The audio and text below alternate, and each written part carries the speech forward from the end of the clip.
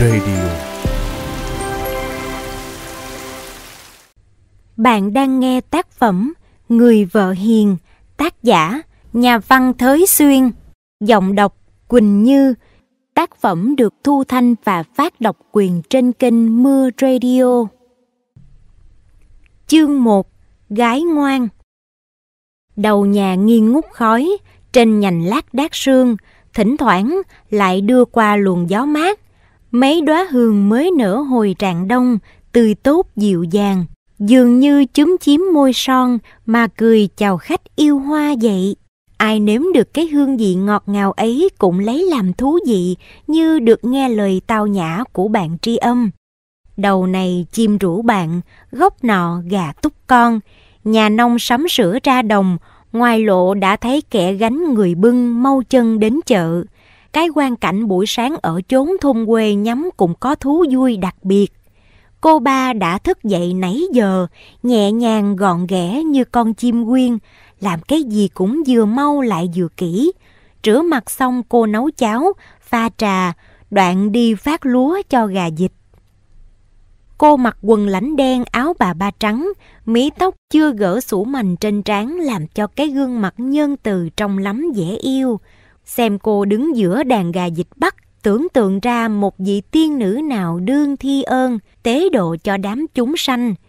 Khi xong đường cô thức, cô bổn thân pha nước rửa mặt, dọn cháo lót lòng, trót nước, tem trầu, vũ xếp mùng mền rồi mới sửa soạn đi chợ. Tánh cô không thích xe xua trang điểm, nhưng cô mặc đơn sơ chừng nào coi lại càng thêm xinh, đáng kính đáng gì, khiến cho bạn đồng niên ai cũng thật tình yêu đương, không có chút gì ganh gỗ. Cô cắt việc cho con đòi. Này em, ở nhà em rửa chén, quét nhà giùm chị nghe em. Cô Lê vì ngủ trưa nên hơi mắc cỡ. Sao chị không kêu em thức sớm với? Em dậy công chuyện đã làm hết rồi, báo hại em mắc cỡ gần chết. Nói rồi nó ngáp mà cười, cô ba cũng cười. Có hề chi, thấy hồi hôm em thức khuya nên sáng chị để em ngủ nán cho khỏe. Ngủ không đã giấc, ngày ngật lắm em à. Như em ưa thức sớm để bữa khác chị kêu cho. Thôi chị đi, trưa rồi. Hai vợ chồng ông Nguyễn Công Phát có một trai và một gái là cô ba, chánh tên là Nguyễn Thị Dung. Thật tánh tình rất hợp với tên, ông bà yêu cô lắm. Bà ngồi cùng ông uống nước, thấy cô Dung ra khỏi ngõ, chỉ theo mà nói với chồng. Tôi thương con gái tôi vô cùng đó ông, không cần gì giàu có hơn người, miễn đủ ăn mà được con hiếu thảo thì là vui lòng hả dạ. Mấy bữa trầy con ba tôi nó cực nhọc ông có thấy không? Gần tới đám cưới thằng hai, mình nó lo, bữa nào cũng thức khuya dậy sớm, nó dành làm không cho tôi dự việc gì hết. Nó nói nó chịu cực ít bữa rồi thì có chị hai về chia công việc với nó chứ gì. Nó lại nói lẽ, má già rồi nghĩ cho khỏe mà ăn ngon ngủ ngon, tôi mừng thì đủ rồi, tôi không biết cực. Năm nay tôi già lắm sao mình? Ông vuốt trâu cười. Già mà còn duyên. Quái, thôi đi ông, đến tuổi này mà còn díu. Không sợ trẻ nghe nó cười. À mà, ý ông tính sắp đặt đám cưới thằng hai sao? Nói cho tôi nghe thử, tôi lo quá. Hai ông bà bàn tính, cô ba đi chợ về, con Lê chạy ra mừng rồi cùng nhau lo việc bếp nút. Tưởng trên đời hoa nào đẹp nhất, ngọc nào quý hạng nhất, cũng không bằng có duyên nhất là người đàn bà. Có duyên này không phải mắt hay liếc, miệng hay cười, cái duyên là cái hương vị ngọt ngào của tấm lòng vàng, của cái linh hồn cao thượng. Lời nói hữu duyên như khúc đờn tiên, non nỉ thâm trầm, như giọt nước cam lồ có thể chữa được vết thương đau đớn. Cái duyên không phải là món bắt chước ở đâu, nó cốt ở lòng, cũng như mùi thơm tự nhiên của hoa cốt ở nhụy. Bắt chước làm điều mình không thật muốn, hoặc mình không có tư cách làm là sự giả dối, trông lắm buồn cười. Cô ba thốt lời chi cũng chậm rãi cẩn thận, thật thà mà có thanh tao, suôn sẻ mà có ý dị, khiến cho người cao sang hơn cũng kính gì, mà kẻ thấp thỏi hơn càng cảm phục. Người như vậy dù nuôi loài vật ngu si cũng có thể cảm hóa được. Con Lê là con nhà đê tiện, thèo lẻo, láo xược, gian ngoa hỗn hào. Giá nó gặp ai thì ngày nào cũng không khỏi bị rầy la đánh đập. Nhưng từ ngày vô giúp việc nhà cô ba thì tánh nết nó khác hẳn. Biết lễ nghĩa siêng năng, có thể nói rằng nó thương chủ nhỏ nó hơn chị ruột. Vì vậy nên nó hay làm chung, đi chung với cô ba, dán cô trong giây lát nó cũng buồn. Lúc lặt trâu nó hỏi. Nè chị ba, nửa giờ anh hai về đây chị có thương không? Thương chớ, trời khiến vậy đa em. Hồi còn người dân thì chẳng nói gì, chứ bây giờ hệ nói đến tiếng chị hai thì lòng chị đã sanh mối cảm tình. Vì sao có sự cảm ấy, em có biết không? Thứ nhất, vì chị hai thương anh hai và thương cả nhà mình nên mới ưng về làm dâu. Thứ nhì là chị hai sẽ là người đồng chia vui buồn với mình. Nếu khéo cư xử với nhau thì như ruột thịt vậy. Nghe nói phía bên chị hai giàu lắm phải không? Giàu, nhưng em phải hiểu rằng chẳng phải cái giàu đó mà anh hai ham mà mình thương. Điều nên chuộng là sự khôn khéo, biết kính cha mẹ, biết thờ chồng, biết hòa thuận với bà con và biết cả nữ công nữ hạnh. Cũng có nhiều khi vì bên chồng ở gắt gao, em chồng ác nghiệt mà thành ra người dâu không được trọn hiền. Chị khuyên em hãy noi theo chị mà yêu kính chị hai, nhất là lúc chị hai mới về còn đương bợ ngợ, còn đương nhớ quê nhà, mình phải khéo cách đối đãi cho người khỏi có điều chi tuổi phận. Ủa, nói chuyện thì nói, lặt trâu thì lặt, chứ buông đó mà nhìn sao bậu. Con Lê cười, bưng rổ trâu đứng dậy. Em lặt rồi chứ, thấy cái miệng chị dễ thương quá nên em nhìn quên thôi. Thiệt em thấy mà muốn hung hết bực. Chị như vậy thì lo chi sau này chẳng được chị em phía bên chồng kính yêu. Hứ, đừng nói xàm, có rửa rau xong thì gọt mướp, rồi chị nói nữa cho mà nghe. Cô nói, cũng thiệt đó chút nghe em, mình ở thì phải tự nhiên gặp phải, nhưng trước hết mình phải rõ phận làm dâu, phải biết tùy gia phong của người mà ở vuông tròn, như vậy cha mẹ mình khỏi buồn thẹn vì lời dị nghị chê bai, sau nữa không uổng cái tình của chồng yêu đương, vậy mới khỏi bị khinh rẻ. Nói đến đó cô ba nghe phía trong có tiếng.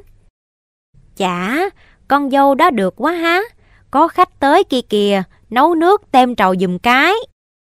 Nàng biết mẹ đã nghe và nói bỡn mình nên mắc cỡ, dội vàng chạy vô, bẽn lẽn cười mà ngó mẹ.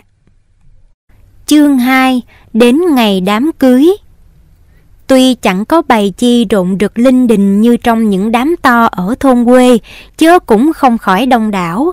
Các bà con đến phụng sự, ai cần món chi, hỏi điều gì thì có cô ba Dung và đứa tớ gái lo trước sẵn sàng cả. Hai chị em trổ tài bạc thiệp, sắp đặt đâu đó rành rẽ kỹ càng, nét mặt vẫn tươi cười, không lính quýnh và không sơ sót chút nào, mọi người đều đẹp ý khen ngợi. Cô ba còn tỏ ý cảm ơn những người đến giúp, sáng thì cô đãi điểm tâm, trưa thì bánh trà, trầu tươi câu dày, mời một cách dịu ngọt ân cần không ai từ chối được. Cô nấu ăn khéo, nhưng vẫn khiêm nhường và hỏi người khác để học hỏi thêm. Mấy bà già lấy làm lạ, hỏi nhau. Còn bà mắc đi học, mới ra trường, ở nhà với cha mẹ gần một năm nay, mình tưởng nó nấu cơm không xong, chẳng dè bánh mứt, nem, chạo, đồ cổ, đồ bát, nó làm khéo quá. Thật lạ chớ, chỉ cần ba cái bánh tay của nó làm không cũng đủ so sánh bằng thiếm kỹ bảy nữa đa. Bánh thửng, bánh men lại càng hơn nữa. Còn mấy món đồ tay ai nấu? Nó đa, nó với con Lê làm đầu bếp, đồ tay đồ tàu gì cũng lãnh hết. Mà thật vậy, có ai về cô ba mà giỏi đến thế? Hồi còn ở trường, học sanh ta nhân mấy ngày nghỉ đến chơi nhà mấy người cô, mấy người gì, có khi ở nhà chị em bạn nói rằng đi chơi, chớ kỳ thật đi học nữ công, hoặc đi chợ mua ăn dùm, hoặc phụ sự nấu nướng chịu làm mấy việc nhọc nhằn, mà hễ làm rồi món nào thì nhớ hết, lại biết chế cho đúng cho ngon hơn. Nhiều người xấu ruột giấu nghề, nhưng cô ba đoán mà biết, khi về thí nghiệm thì làm được ngay, khéo như vậy mà chẳng hề ăn món gì của ai mà chê, nên người ta mới lầm. Khi thuyền rước dâu đã về, thì trừ ra cô ba với con Lê vẫn lo coi sóc trong nhà, còn mấy người đàn bà, nhất là mấy cô còn tơ, kẻ thì núp sau hè, người thì trình kẹt dách, lén xem cô dâu chú rể bước lên. Ai cắt cớ lóng tai bên dách thì nghe dường như mấy tấm dáng nói chuyện với nhau. Bận áo tốt quá phải không? Dòng vàng thiệt là nhiều. Kìa, trên đầu có dắt cái gì in con bươm bướm. Chừng dòm theo kẻ hở thấy một hàng mấy chục con mắt hiếu kỳ mở thật lớn. Y như lời người ta nói, cô thường là cô dâu mới vốn con nhà giàu, to xương, hình dốc không được dịu dàng, đầu nhỏ, cổ cao, tay chân lớn hơn của đàn ông. Xem bấy nhiêu cũng đủ hiểu người không thông minh, không có xảo thủ trong những việc công phu tỉ mỉ. Không phải cái bàn tay cầm kim gọn gàng ở trên cái khuôn theo, cũng không phải cái bàn tay vuốt ve chồng trong lúc buồn rầu, mơn trớn con trong mấy cơn đau yếu. Nhưng mà thật da trắng, môi dày tóc huyền, trông cũng là khá đẹp. Đám cưới xong, mấy tháng qua rồi, trong gia đình vẫn yên vui, chẳng có điều chi lạ. Nhưng về sau này lắm khi đêm vắng canh chày chẳng biết gì sao mà cô ba ngồi sững, mắt nhìn đèn, quên lẫn đường kim mối chỉ. Có khi cô rơi lụy nhưng dội vàng kính nhẹm lâu đi rồi tắt đèn mà ngủ. À, chương 3 Cô Dung phiền Nội nhà không ai biết cái buồn của cô Dung, Duy có con Lê dò thấu. Thường khi đêm cùng ngồi mây giá, chủ nhỏ nó hay nói chuyện xưa tích cũ hoặc chuyện kim thời để làm gương và thừa dịp giảng luân lý cho nó nghe. Gần đây cô ba ít nói, ít cười, hoặc có cười cũng chỉ là cười gượng mà thôi, lại thức khuya lắm. Con Lê ngủ trước, chừng thức sớm thì vẫn thấy cô ba còn trong đèn ngồi làm bạn với mũi kim. Khi kia, thừa lúc rảnh rang vắng vẻ, con Lê hỏi.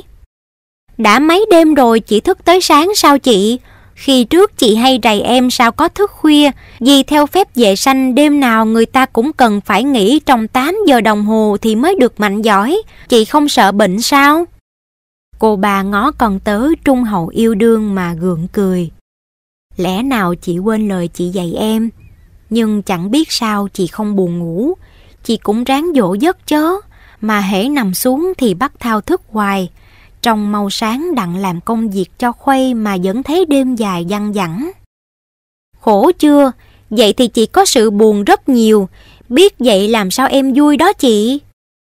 Có buồn điều chi? Thôi đi, em biết nghe và biết chi buồn với chị mà.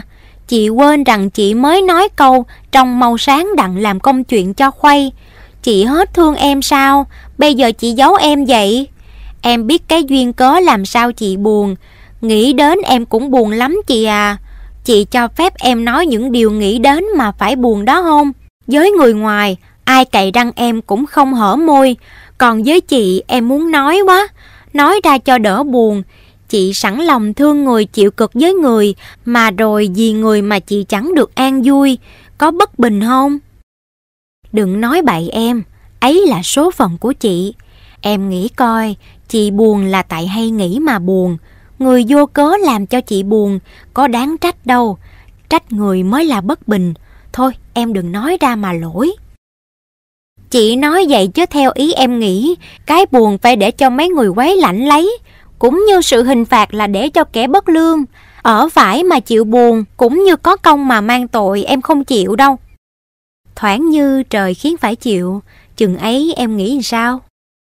Chừng ấy phải cam tâm, nhưng đã biết rằng trời khiến thì chẳng hay hơn là đừng buồn sao.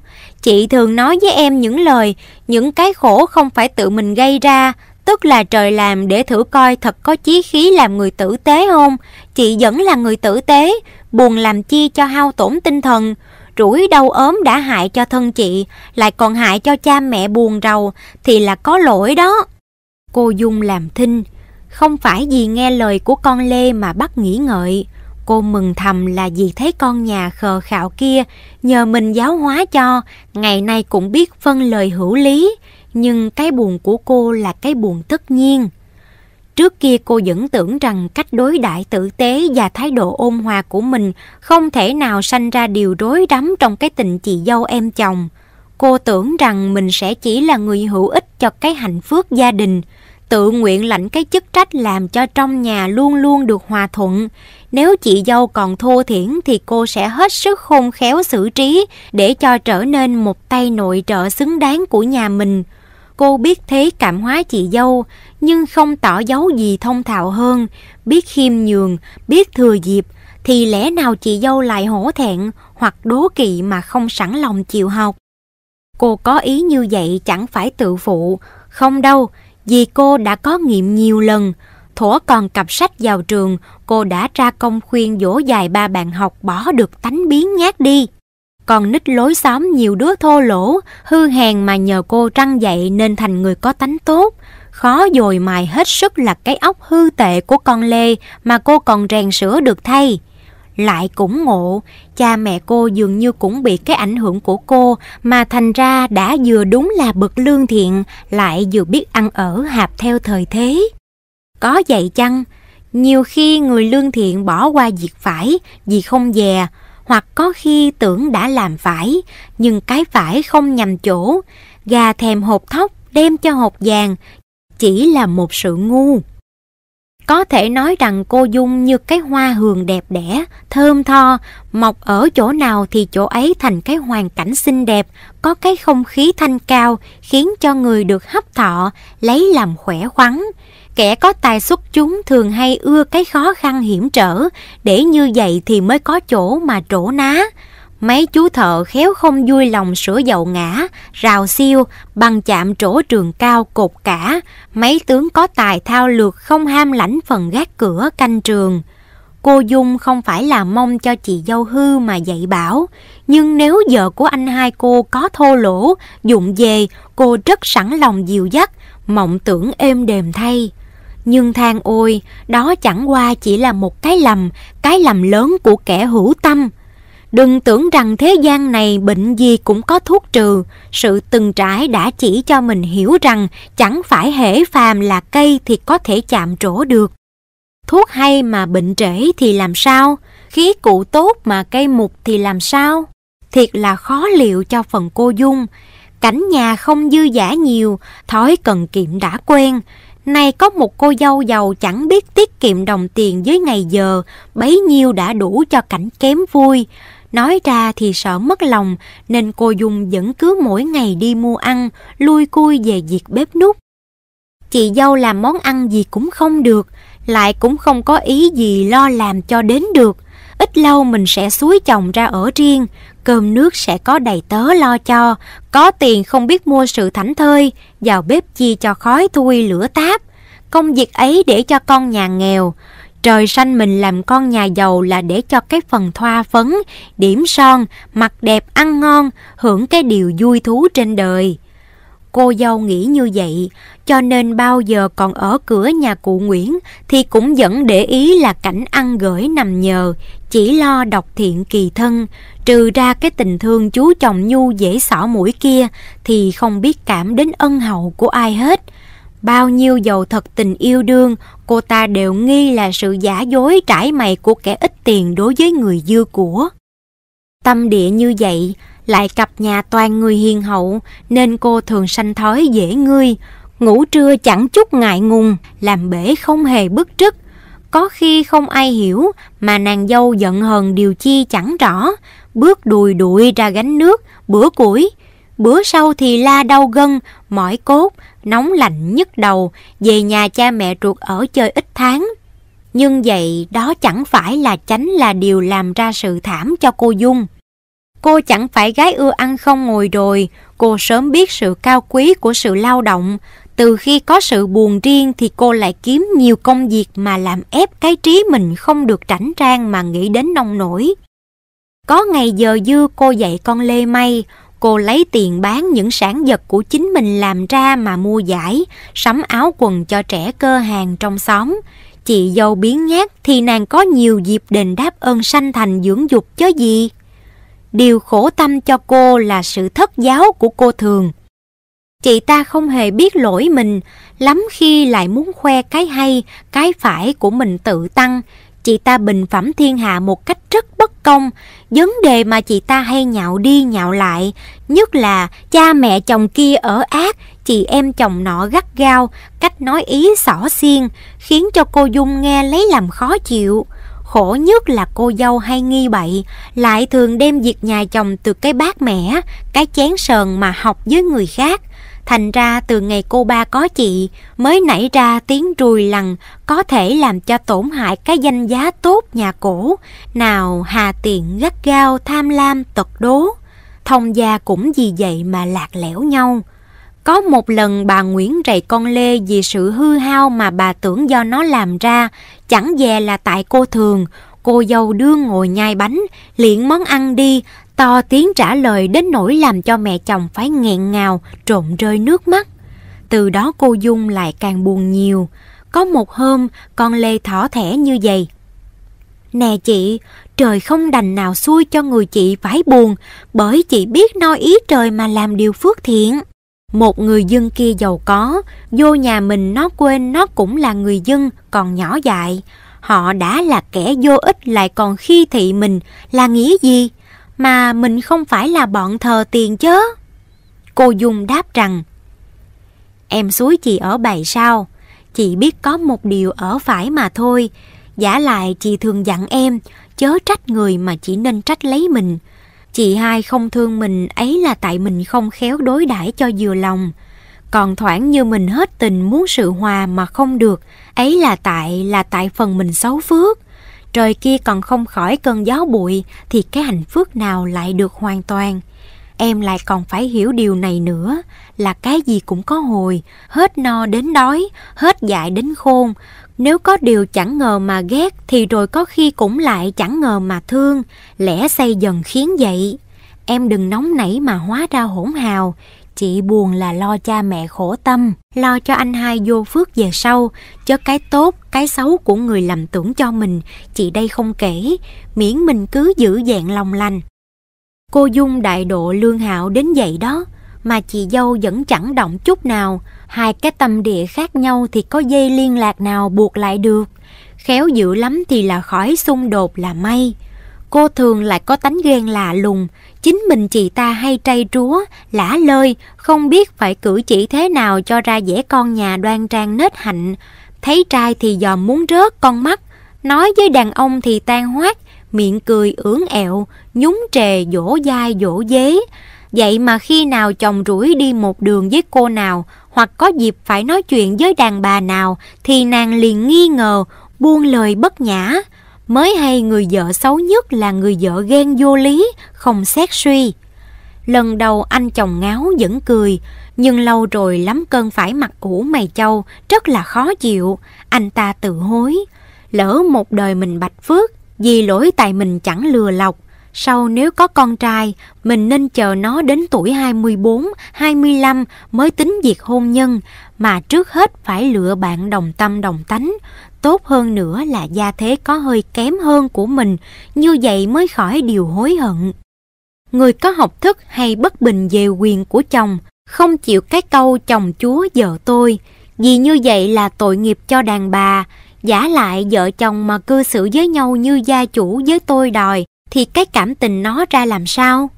Thật vậy, có nhiều cái gương dùi hoa dập liễu, nhiều cái cảnh khắc khe với mấy trang hiền phụ, khiến cho ai trông đến, nghĩ đến cũng phải lấy làm bất bình. Mà than ôi, hình như đàn bà nước ta sanh ra để chịu nắng, chịu sữa như những cây kiển kia, để tự do đâm nhánh nảy chồi thì không thế nào tốt được. Mấy cái phương nghiêm khắc có khi gần như giả mang của mấy ông chồng hữu hậu lại thường có cái kết quả hay. Thấy ít khi nào mình cười với nội nhơn, lúc ngồi ăn lỡ có thiếu món gia vị hay đồ dùng thì thầy ném đũa dằn mâm, mặn lạc một chút là la trầy in ỏi. Vợ không dám ngồi ngang, đừng nói chi là dám giỡn mặt, vậy mà vẫn hết lòng yêu kính ông chồng. Ông hay theo bè bạn cờ bạc rượu chè, vợ khuyên lơn thì ông gắt ó, quát mắng om sòm rằng đờn bà muốn đòi làm chủ. Vợ buồn chăng, ông bỏ đi sáng đêm, cằn răng nửa chăng, không thèm về nhà đôi ba ngày, thét lắm thì đôi ba tuần một tháng. Cái gia cảnh như vậy làm cho người đàn bà lấy làm tuổi phận rầu duyên, nhưng lần đầu cũng vui vẻ chịu được, cũng hóa ra kẻ đồng tâm, cũng cộng ưu cộng lạc với chồng vậy. Nông nổi như vậy chẳng phải ít, thiệt đáng thương hại cho đàn bà, nhưng trong kết quả thì họ như dây cát đằng leo nhằm cây sao, cây sến, hay bò trên vách sập tường siêu, quý hồ có nước uống, có đất ăn là sởn sơ được. Đại để đờn bà là vậy đó. Gặp chồng biết yêu, biết trọng thì dễ vui, lâu ngày lại sanh thói hỗn hào, xỏ chân lỗ mũi, trách gì cái phong tục nghiêm khắc chẳng vẫn còn, trách gì đàn ông họ cứ muốn cho đàn bà nhắm mắt giữ chữ tùng đời đời kiếp kiếp. Theo cái chí hẹp hòi của nhiều người đàn bà, khi thương chồng thì muốn sao chồng như con cá trong chậu, con chim trong lòng, cá nào chim nào muốn tự do vậy là hết thương họ đó. Phải biết xem mòi, nếu trước mình không khéo xử, tùy cái trình độ của đàn bà mà để cho cái hạng tự do, thì rồi gì tự do mà đến phải xấu hổ, đến phải gan tím ruột bầm. Cô thương lại rủi được cái tự do nói đó, cho đến khi kia cô bỏ đói chồng vì Đức Lan Quân bị anh em cầm ở chơi trễ. Thấy chồng về cô ngoai ngoải bỏ vô trong mà lầm bầm. Mê con đĩ nào mà không về ăn cơm cho kịp bữa, ai thức mà hầu hạ được, sao không biểu nó về theo, dọn cơm cho mà ăn. Cô dùng biết tánh anh, rất thương hại cho anh, đi hâm đồ ăn dọn bữa cho anh, lại kiếm cớ nói đỡ rằng bởi chị dâu có việc nên mình lo vậy. Thấy vậy cô thương càng thêm ghét, nói thầm rằng em chồng làm vậy là có ý suối chồng mình không kể đến vợ nhà, lại tiếp. Quần ngu như vậy, để sau làm mọi cho người ta. Nhưng sau này thì ấy lại nghi thế khác. Hôm nọ chị dâu em chồng đi chợ, có thầy ký nào quen thói khả ố, thấy cô Dung bèn thả giọng trây trúa. Ê, ê, ma xe, mà tỏ ra cách ghẹo chọc. Cái hàng này như vậy thiệt là chẳng ít trong thời buổi này, nhất là trong mấy chợ quê mùa, cái người làm tội phong bại tục ấy càng nghinh ngang hơn nữa. Cô ba lo lựa hàng không hay, có cô thường ngó thấy mà thôi. Chỉ có bấy nhiêu đó mà chị đề quyết em chồng có ngoại tình, lấy làm đắc chí mà cười thầm. À, tưởng ai chính chuyên, té ra ngày nay mới rõ. Hèn chi nó chẳng nịnh hót anh nó, không vậy thằng chả mét còn gì. Người phải, ai có lo chi sự quấy tiếng đồn oan của thế thường, nhưng khốn thay, hai điều ấy lắm khi là thuốc độc rất ghê gớm, giết được linh hồn người biết liêm sĩ. Đừng... Chương 4 Cô Dung lấy chồng Hôm kia nhân đêm trăng mát mẻ, bà Nguyễn cùng con gái thừa nhàn đi dạo sau giường. Mẹ nhìn con chan chứa ái tình, thỉnh thoảng bà nắm bàn tay mềm mại trắng phau của cô Dung mà nựng nịu, dây lâu bà Nguyễn gọi. Nè con! Cô ba dạ, nhưng chỉ thấy mẹ ngó mình mà cười, dường như muốn nói chi mà còn ngần ngại. Cô hỏi, má vui không? Vui, nên má muốn nói chuyện với con. Nè con, năm nay con đã lớn rồi, má muốn tính cho con yên phận. Má đừng tính chi cho mệt, con ở với ba má như vậy là yên vui lắm rồi. Con phân vậy là con chưa hiểu ý má sao? Má muốn tính về hậu lai của con, chứ không lẽ ba con với má lột vỏ sống đời với con cho đặng. Có thầy ký con nhà giàu lớn lắm, mà tính nết nho nhã phong lưu. Cha mẹ thấy thương con, muốn đem con về mà coi sóc trong nhà, phòng sâu có cai quản sự nghiệp. Cô ba đổi sắc, buồn giàu giàu, làm thinh mà ngó mẹ, cặp mắt nhơn từ bỗng không chan chứa lùi sầu. Nội một cái ngó ấy làm cho bà Nguyễn cảm động vô cùng, bèn choàng vai con mà kéo ngồi trên cái giọng dáng gần đó. Mà sao buồn con? Bà vừa hỏi vừa lau nước mắt và dán mí tóc cho cô Dung. Con không muốn lấy chồng, chẳng phải con tật bệnh chi hay là dụng về chi mà sợ ngày sau người ta chê con và khi thị cha mẹ. Ý con muốn ở dậy nuôi ba với má hoài mà thôi. Hay là con buồn vì chị dâu thất hiếu nên cam lòng ở gần bên mà trông nom ba con với má? Điều ấy con đừng lo, Má còn sức khỏe, có thể lo liệu việc nhà. Đến tháng giêng đây má cho vợ chồng thằng hai ở riêng. Má với con Lê hữu hỷ cũng vui vậy. Con phải xét kỹ, con mà nên vợ nên chồng rồi, lại xứng lứa vừa đôi thì là cái mừng cho cha mẹ đó con. Giả lại, gái lớn lấy chồng là lẽ tự nhiên, nhà vô phước lắm mới có con gái mà không được làm xui đó, miễn con thương cha mẹ là đủ rồi. Má sợ con hư sao? Ê, nói bậy mà, má đâu có nghĩ quấy vậy. Nếu chẳng vậy thì má để con được tự do một chút, con ở đây cùng ba má, chừng nào trời khiến con ưng ai con sẽ vui lòng. Thế thì con chê chỗ má nói đó sao? Con không dám chê ai, chỉ tại lòng con chưa muốn thôi. Điều muốn của con bây giờ là xin má đừng ép. Ý con khác hơn thiên hạ. Chẳng phải nơi giàu sang quyền tước mà con tìm. Con chỉ muốn có chồng như thế nào cho đúng ý. Nghĩa là người ấy hết tình yêu con, quý con và con cũng có thể hết tình yêu quý lại được. Má đừng lo con chọn lầm, không phải con dám tự phụ, song trời xanh con có cặp mắt biết xem đời, còn xét người có chân giá trị, có cái tài đức. Cái trái tim nào làm cho cảm động được trái tim của con, ấy là của người đáng cho con trao thân gửi phận đó, má bằng lòng không? Bà mẹ thở dài. Hey, con cưng mà muốn gì không được. Má, má buồn không? Nói đi. Không. Thôi vô ngủ kẻo con đã lạnh. Tám năm đã trải qua, người ta ai cũng có một lúc dường như quên ngày giờ đi, rồi thoạt nhiên lần tay tính lại cái thời kỳ thấm thoát bắt nhớ đến tình này nổi kia mà luống bâng khuâng, mãi lo nhớ cái cảnh đời sẽ tới mà lần lần quên những nỗi cam khổ đã trải rồi. Hồi tưởng lại chuyện gì đâu đâu, trong lòng bắt chán nản. Tám năm đã trải qua, cảnh nhà của cô Ba Dung trước kia thế nào mà bây giờ vắng teo cô không còn cái hạnh phúc được nghe tiếng kêu con rất yêu dấu của mẹ nhân từ, không còn cái hạnh phúc đọc chuyện lạ thơ hay cho cha nghe nữa. Tiếc thay, lòng con quyết báo ơn sanh thành dưỡng dục cho dừa mà cha mẹ đã dội lìa trần tục. Anh hai chị hai ra riêng ở làng khác, con Lê có chồng có con rồi. Một mình hiu quạnh với con thơ cùng đứa tớ gái trong cái nhà rộng rãi êm đềm, Cô Dung tuy nét mặt vẫn tự nhiên chứ trong lòng ngổn ngang nổi thảm. Chiều chiều, mấy người hành khách thường thấy một người đàn bà xinh đẹp, bận áo dài đen, tha thước đứng nhìn hoa, nét mặt trầu trầu như thương như nhớ ai không thế nào nguôi. Chẳng rõ ai có cái duyên được người thương nhớ thế mà có thấu lòng chăn nhẽ. Đứa bé chừng 5-6 tuổi, khi đánh vòng, khi rượt bướm, phút chốc chạy lại nắm mà mơn trớn tay người áo dài đen. Má, chừng nào ba về? Cô Dung chừng như tỉnh giấc mơ gượng cười. Còn ít tháng nữa ba về. Ít tháng là mấy ngày? Một tháng kể là 30 ngày, chừng dài ba cái 30 ngày như vậy. Thằng nhỏ chìa tay lẩm bẩm tính. Dữ, lâu quá lẽ chưa? Sao ba ở chi ngoại hoài vậy má? Con đừng hỏi chi, má muốn để ít ngày nữa rồi con biết.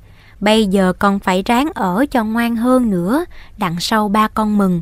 Con mà làm cho cha mẹ vui lòng là biết thương cha mẹ, là có hiếu nghe con. Con thương ba không? Thằng nhỏ múa tay trả lời. Con thương ba cũng bằng thương má vậy. Con muốn ngoan cho ba với má vui lòng.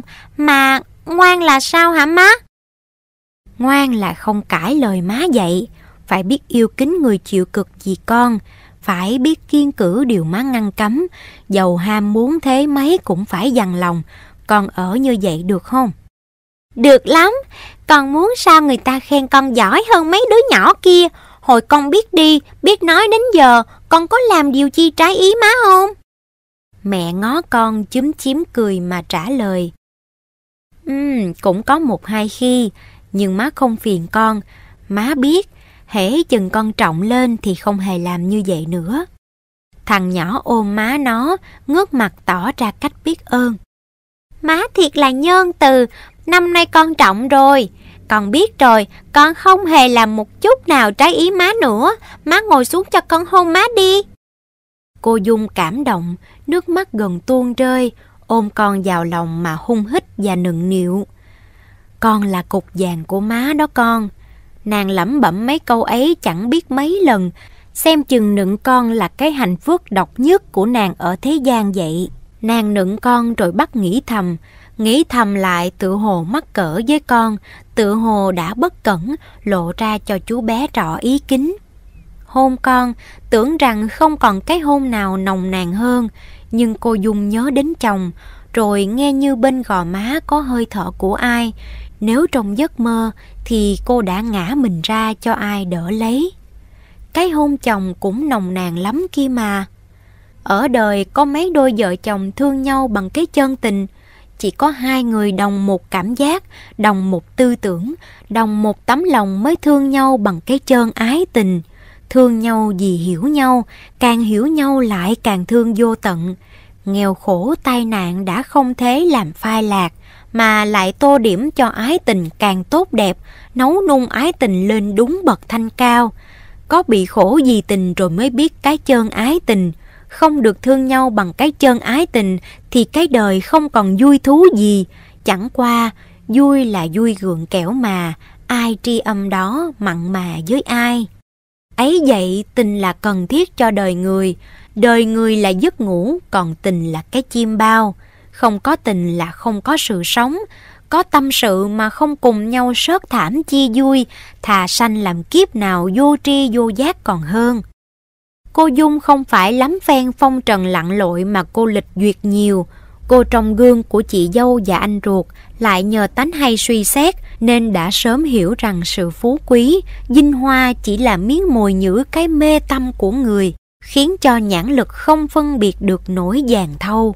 Cô lại biết xét trọng ra nữa là con người chẳng những bị ảnh hưởng của sự giàu sang mà còn bị ảnh hưởng của cảnh ngộ, không cẩn thận thì cũng phải lầm lạc. Đôi trẻ kia năng gần nhau, lần lần thương nhau, tưởng rằng kết được vợ chồng thì lấy làm hòa hảo, nhưng đến chừng thân yêu rồi lại có chỗ phiền, là vì khi lửa tình nguội bớt rồi, họ dòm thấy cái xấu của nhau, lấy làm ân hận, trách mình quá dội, ăn năn mà có ích gì. Thế cho nên cô rất dè dặt. Cô thường tự bảo, người có trí suy xét thì khỏi phải ăn năn, lắm kẻ gặp cơn rầu duyên, tuổi phận hay oán trách ông trời. Nàng chê họ không biết nghĩ xa, trời là đấng từ thiện, nhưng lại là đấng công bình. Trời để cho người tự do thương nhau, nào có ép ai đâu. Vậy mà chẳng thiếu chi người, khi lòng muốn tính diệt sằng, cũng đổ là trời xui, khi tự mình nhận mình vào chỗ hôi tanh cũng đổ tại trời xui, khiến cho nói đến việc hôn nhân, mấy cô xuân nữ lấy làm lo sợ bến nước đục trong của đời dành để. Giúp người phải xa kẻ quấy, biết thế tức là biết trời, trời không có sắp đặt cho ai phải hạp với ai cả, việc đó là nơi người kén chọn. Cô Dung không có cái sợ quấy, cô chỉ tin ở sự công bình của trời và tấm lòng chơn chánh của mình. Cô học khôn trong cảnh nghèo và lấy làm cám ơn trời khi cô sanh ra làm con nhà nghèo, có chịu cây đắng nhọc nhằn mới biết suy rộng nghĩ xa, mới biết tâm địa của người thiên hạ, nhân đó mà biết gìn lòng, dưỡng nết mình tử tế thanh cao. Cô chắc ý rằng cô lựa chẳng nhầm, nếu chẳng đặng gặp người hiền để gửi phận trao duyên. Thà là giữ tiết sạch giá trong mãn đời thôi, không phiền không tuổi, có chồng mà phải khổ tâm mới phiền tuổi cho. Đến khi cô ưng anh học trò nghèo là đoàn hữu minh thì bị chị dâu mai mỉa lắm điều. Hay bộ khôn mà thật chí ngu, chỗ quyền cao lọc cả không ưng, để sánh đôi với bợm tay trắng túi khô, đặng làm mọi cho nó cả đời. Thật là uổng, mà xét kỹ cũng thật là đáng kiếp. Chính mình ông Nguyễn bà Nguyễn cũng có ý buồn, song ép giàu ép mỡ ai nở ép duyên, nên đành để tự ý con, sau có đến nỗi nào nó không trách cha mẹ được. Đoàn Hữu Minh ở nhà cha mẹ vợ và đi dạy học, tánh nết hiền lương nên hai vợ chồng ông Nguyễn lần lần hết dạ yêu đương. Thầy ít giao thiệp, có thì giờ dư chỉ làm bạn với mấy quyển sách của mình nhín tiền mua, có khi đem ra bình phẩm với vợ hiền, lấy bao nhiêu đó làm thú vị.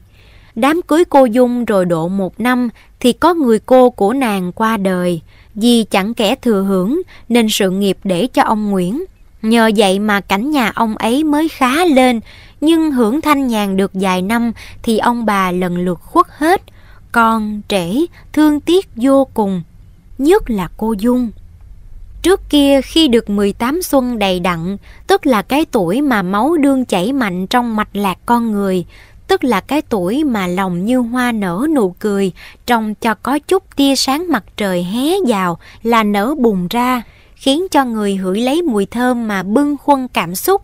Vì đâu mà cô vẫn thệ lòng không màng đến việc lứa đôi, chỉ lo phụng dưỡng huyên đường, nhọc nhằn bao nhiêu cô cũng coi là chưa vừa với ơn sanh dưỡng than ôi, những kẻ bất hạnh bị loài ác tử rẻ khinh, đầy đọa mà còn tiếc chi, lại vẫn sống thừa. Còn người mà con hiếu thảo cầu nguyện được trường sanh lại lòng nào thác dội. Ông chết, bà chết, cô buồn cho đến xanh sao vàng giỏ, cho đến chồng phải sợ cho cô theo tầm song thân ở chốn u minh. Nhưng may vì cô còn được cái tình chồng con quý yêu màu nhiệm, cũng bằng giọt nước nhành dương, cho nên cái dích trong lòng cô lần lần cũng lành lại. Từ ấy cô thương chồng da bội lên mà chồng cô cũng yêu cô không biết đâu là bờ là bến. Thương nhau mà vẫn kính nhau, càng thương lại càng thấy cái tốt của nhau thêm lên mãi. Cô thấy cử chỉ của chồng càng đem lòng kính phục tặng chồng là trai phi thường. Chồng thấy vợ nhiều khi chín chắn hơn mình, khen là gái quân tử. Tối nào, hệ thiếp theo thùa, may giá thì chàng làm văn xem sách. Mấy lúc trăng thanh gió mát thì kề dai nhau lững thững ở giường hoa để bàn luận về thế thái nhân tình, thỉnh thoảng khen nhau bằng cái ngó mặn mà đầm thấm. Cô Dung lại hiếu học, ngày nào cô cũng để vài giờ xem sách, cùng làm bài của mình xin chồng ra đề cho. Cô sửa bài học trò giúp chồng, có khi lựa đoạn sách hay đọc cho chồng nghe, miệng hữu duyên, cất giọng dịu dàng, bao nhiêu ngao ngán, bao nhiêu nhọc nhằn của đàn ông cũng nhờ đó mà tiêu tan cả. Nhiều khi chồng cảm tình trang chứa, nhìn sửng sốt rơi giọt lệ không cầm. Mình ôi, tôi tài đức chi mà được người vợ thế này, mình làm cho tôi có phước lắm mình à. Dẫu tôi được làm vua, giàu sang hơn người, cũng không bằng được làm chồng của mình đó. Cô đứng dậy, bước lại, choàng tay bụm miệng chồng cười. Mà mình thương tôi nhiều không? À, như vậy thì sự thương của tôi có lấy gì làm quan trọng đâu. Tôi sợ là không biết làm thế nào tỏ hết lòng yêu quý của tôi đối với mình đó thôi. Cũng thời một cái thương, nhưng không biết cái thương có khi là hại. Hai vợ chồng đoàn hữu minh đã biết thương, lại mỗi người còn thầm ráng làm thế nào cho càng xứng đáng với nhau, rủi ai làm khổ tâm cho ai một chút, thì xem cũng bằng đã phạm tội chi trọng, lấy làm xốn sang bức trức. Nhiều khi thầy xem sách mỏi mắt, xếp lại, nằm nhìn vợ, lòng lai láng cảm tình, càng xét tài đức của vợ bao nhiêu, càng yêu quý trân trọng bấy nhiêu, rồi lại nghĩ lại tuổi. Đoàn hữu minh này có đáng chi mà được vợ như vậy. Nhìn lại địa vị của bạn đồng môn, kẻ quyền cao lộc cả người phú quý dinh huê, rồi ngẫm lại phận mình thật hèn kém trang phi phạm thục nữ. Như người yêu dấu người kia, đáng ở lầu cao cửa rộng, đáng kẻ bẩm người thưa, chứ không phải sửa tráp nâng khăn cho kẻ tài hèn trí mọn. Cô ba độ hiểu cái cảm tưởng của chồng, trầy một câu khôi hài. Nhìn hoài, vậy mà khi vào lớp trò nào bỏ sách ngổn ngang, mình rầy người ta làm sao? Cấm mình đó nghe không? Nhưng mà thầy cười, sẽ lén lại ngồi gần bên, vuốt tóc lẩm bẩm có một câu.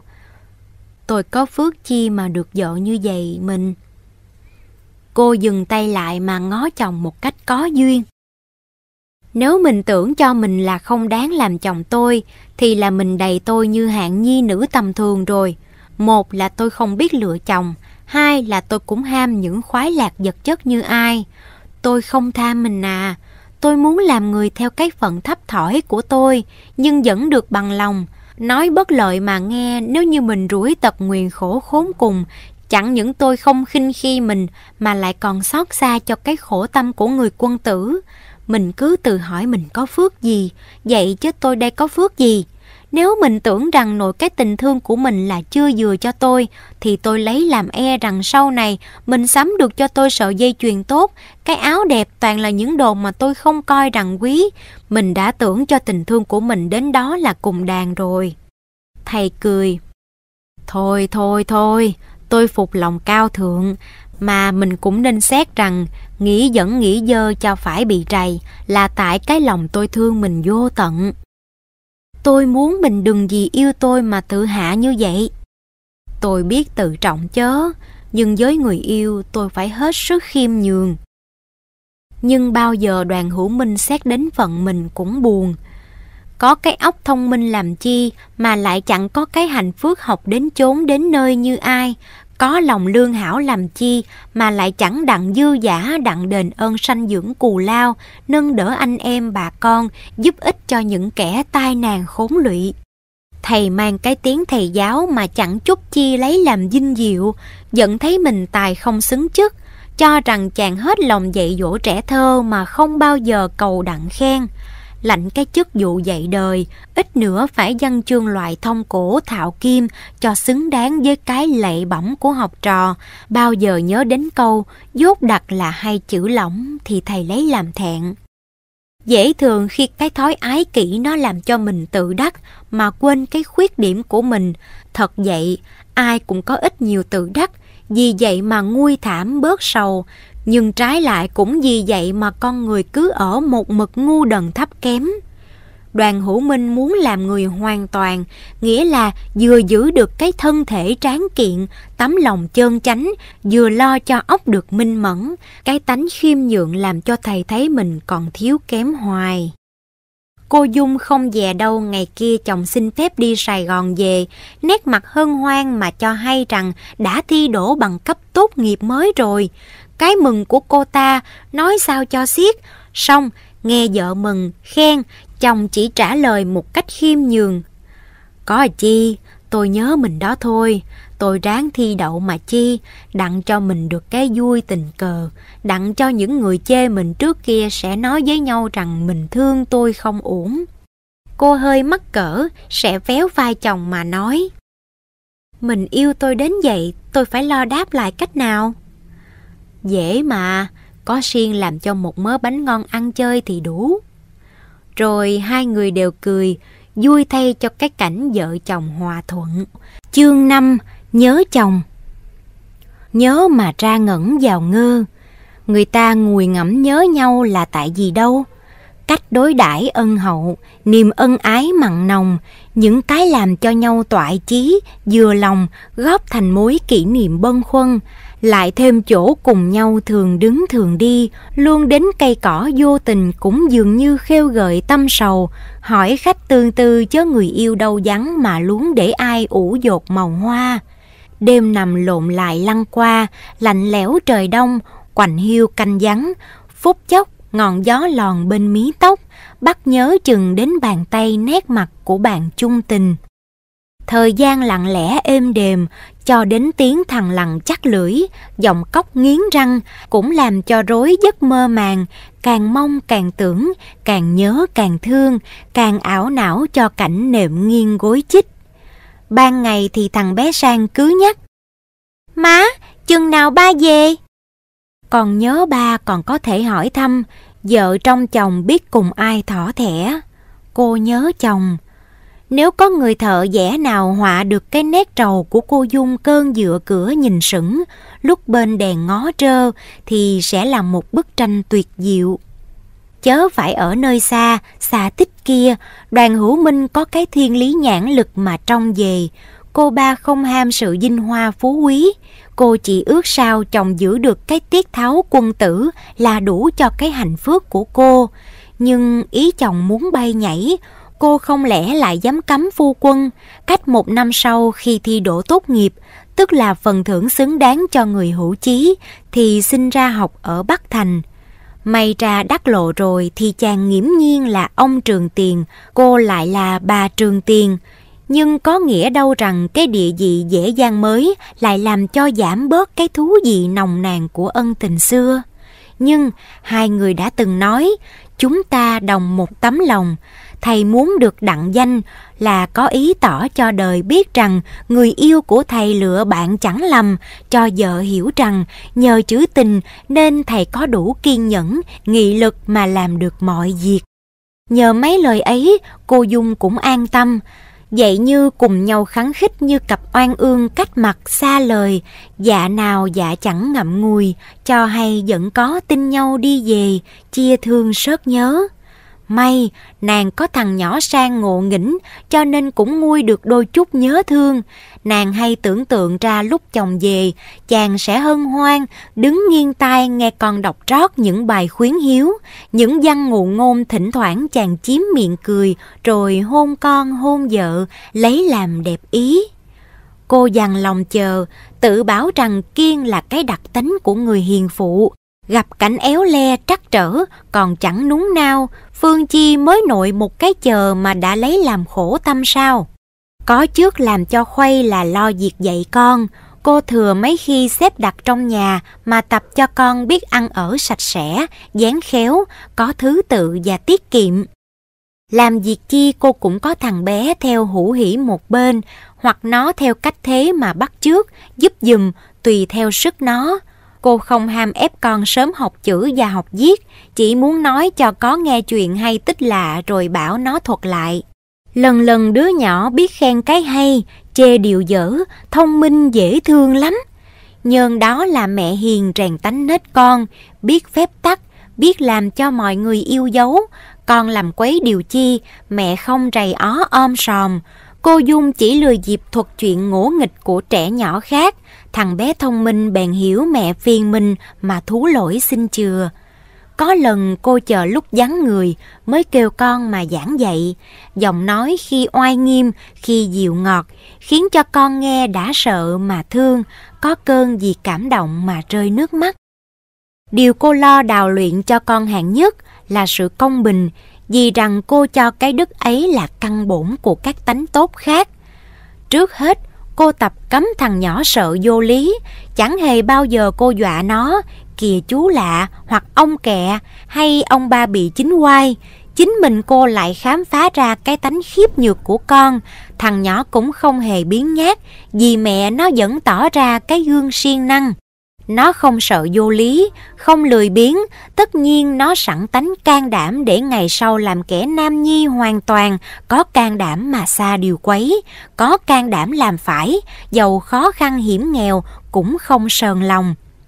Nó không nóng nảy như những đứa con nít thường, vì mẹ nó thuần hậu ôn hòa, nó lại sanh trong cái cảnh êm ái thì có bao giờ phải trái ý, phải giận hờn đến nỗi khóc la mẹ đã biết chăm sóc cho con được hình dốc tráng kiện tươi tốt, lại dồi mài cho con được cái óc thanh lịch, tinh lanh thì lẽ nào trí nó lại chẳng sáng suốt. Cho nên hễ nghe mẹ dạy điều chi thì nó hiểu biết ngay. Trước khi ngồi, trước khi đi, có ý tứ xem coi rất cẩn thận. Trước khi nói biết nghĩ suy, trước khi làm biết xem xét. Chẳng bao giờ vì sự bất cẩn mà nó làm hại cho nó hoặc phiền lụy đến ai mẹ dạy công bình thì nó hiểu rằng chẳng hề nên làm cho người khác phải buồn, phải khổ. Nó không chê ai, không trách ai. Khi nào nó làm cho kẻ khác buồn thì nó phải xốn sang hơn người buồn kia và mau mau kiếm thế sửa lỗi. Một hôm, thằng sang hái hoa đặng cầm vào bình, rủi bị con ông chích nó sưng mặt, mẹ vừa thoa thuốc vừa hỏi. Con phiền con ông ấy không? Nó đáp, con không phiền, vì nó tưởng rằng con bắt nó, hoặc con bẻ hoa đặng làm bầm dập như mấy trẻ kia, nên nó mới chích con. Côn trùng mà biết giữ mình nó, lại giữ mình dùm kẻ khác là đáng khen. Con chê con hè giặt mà tránh con ong núp dưới hoa, không lanh lẹ mà tránh cây kim của nó. Cô cười hỏi tiếp. Ừ, giỏi. Nhưng con không cố ý hại nó, mà nó báo cho con phải nhức nhối, con mới nghĩ sao? Con nghĩ nó cũng vô tội phải không? Vì nó cũng không cố ý hại con. Nọc độc là của trời xanh cho nó, chứ không phải nó kiếm mà dùng. Nếu khi nãy con cầm cây mà bẻ hoa, nó cũng đã chích cái cây. Lại nếu con có đội nón thì nó lại chích đại vào nón. Nó không biết suy nghĩ như mình, lại làm một điều bào chữa cho nó vô tội. Huống chi, như con ong mật là loài siêng năng. Con có học bài thuộc lòng, con còn nhớ, con khen nó là loài hữu ích. Nó chích con, con nghĩ công mà tha tội cho nó chứ. Mẹ dỗ dai con mà khen. Tốt lắm, được lắm. Vậy má mới không cười đứa nào làm mặt nhỏ mặt lớn với má. Trong nhà thường có chuyện vui nhỏ nhỏ như vậy, cô Dung thấy con sớm có trí rất lấy làm mừng. Cô dạy con, người ta biết ăn ở công bình là để khỏi phạm điều tội ác và sửa những tội ác mình đã lỡ làm. Nhưng con đừng dội tưởng rằng hễ con biết phân biệt phải chăng đã gọi mình là lành trọn lũ kiến siêng năng kia đương tha mồi về nuôi gia quyến, còn ham bẻ trái mận trái lê, con trèo lên cây, đạp nhầm mấy sanh mạng tanh tành. Khi kia má sai còn đi lấy cái khăn, trót chén nước, con gì lật đật mà bước trên mình con cóc nọ trầy không? Đó, má thí dụ vậy. Con nào có ý làm hại chúng nó đâu phải không? Nhưng vậy con cũng đã làm ra sự bất bình rồi. Vậy cho nên con hãy để ý rằng ở đời khó giữ mình tận thiện tận mỹ lắm thay. Một chút hơ hỏng là có thể gây ra lỗi lầm, làm được một việc phải, đừng đem mà khoe khoang. Những kẻ làm phải khoe khoang là chủ ý muốn kẻ khác khen trọng mình thôi, chứ không ắt đã có bụng tốt. Làm phải là bổn phận của mỗi người chứ có gì.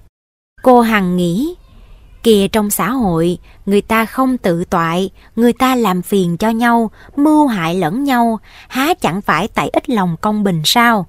Ai cũng muốn mình đặng tự do, mà thường là không biết tự trọng cái tự do của mình và của kẻ khác.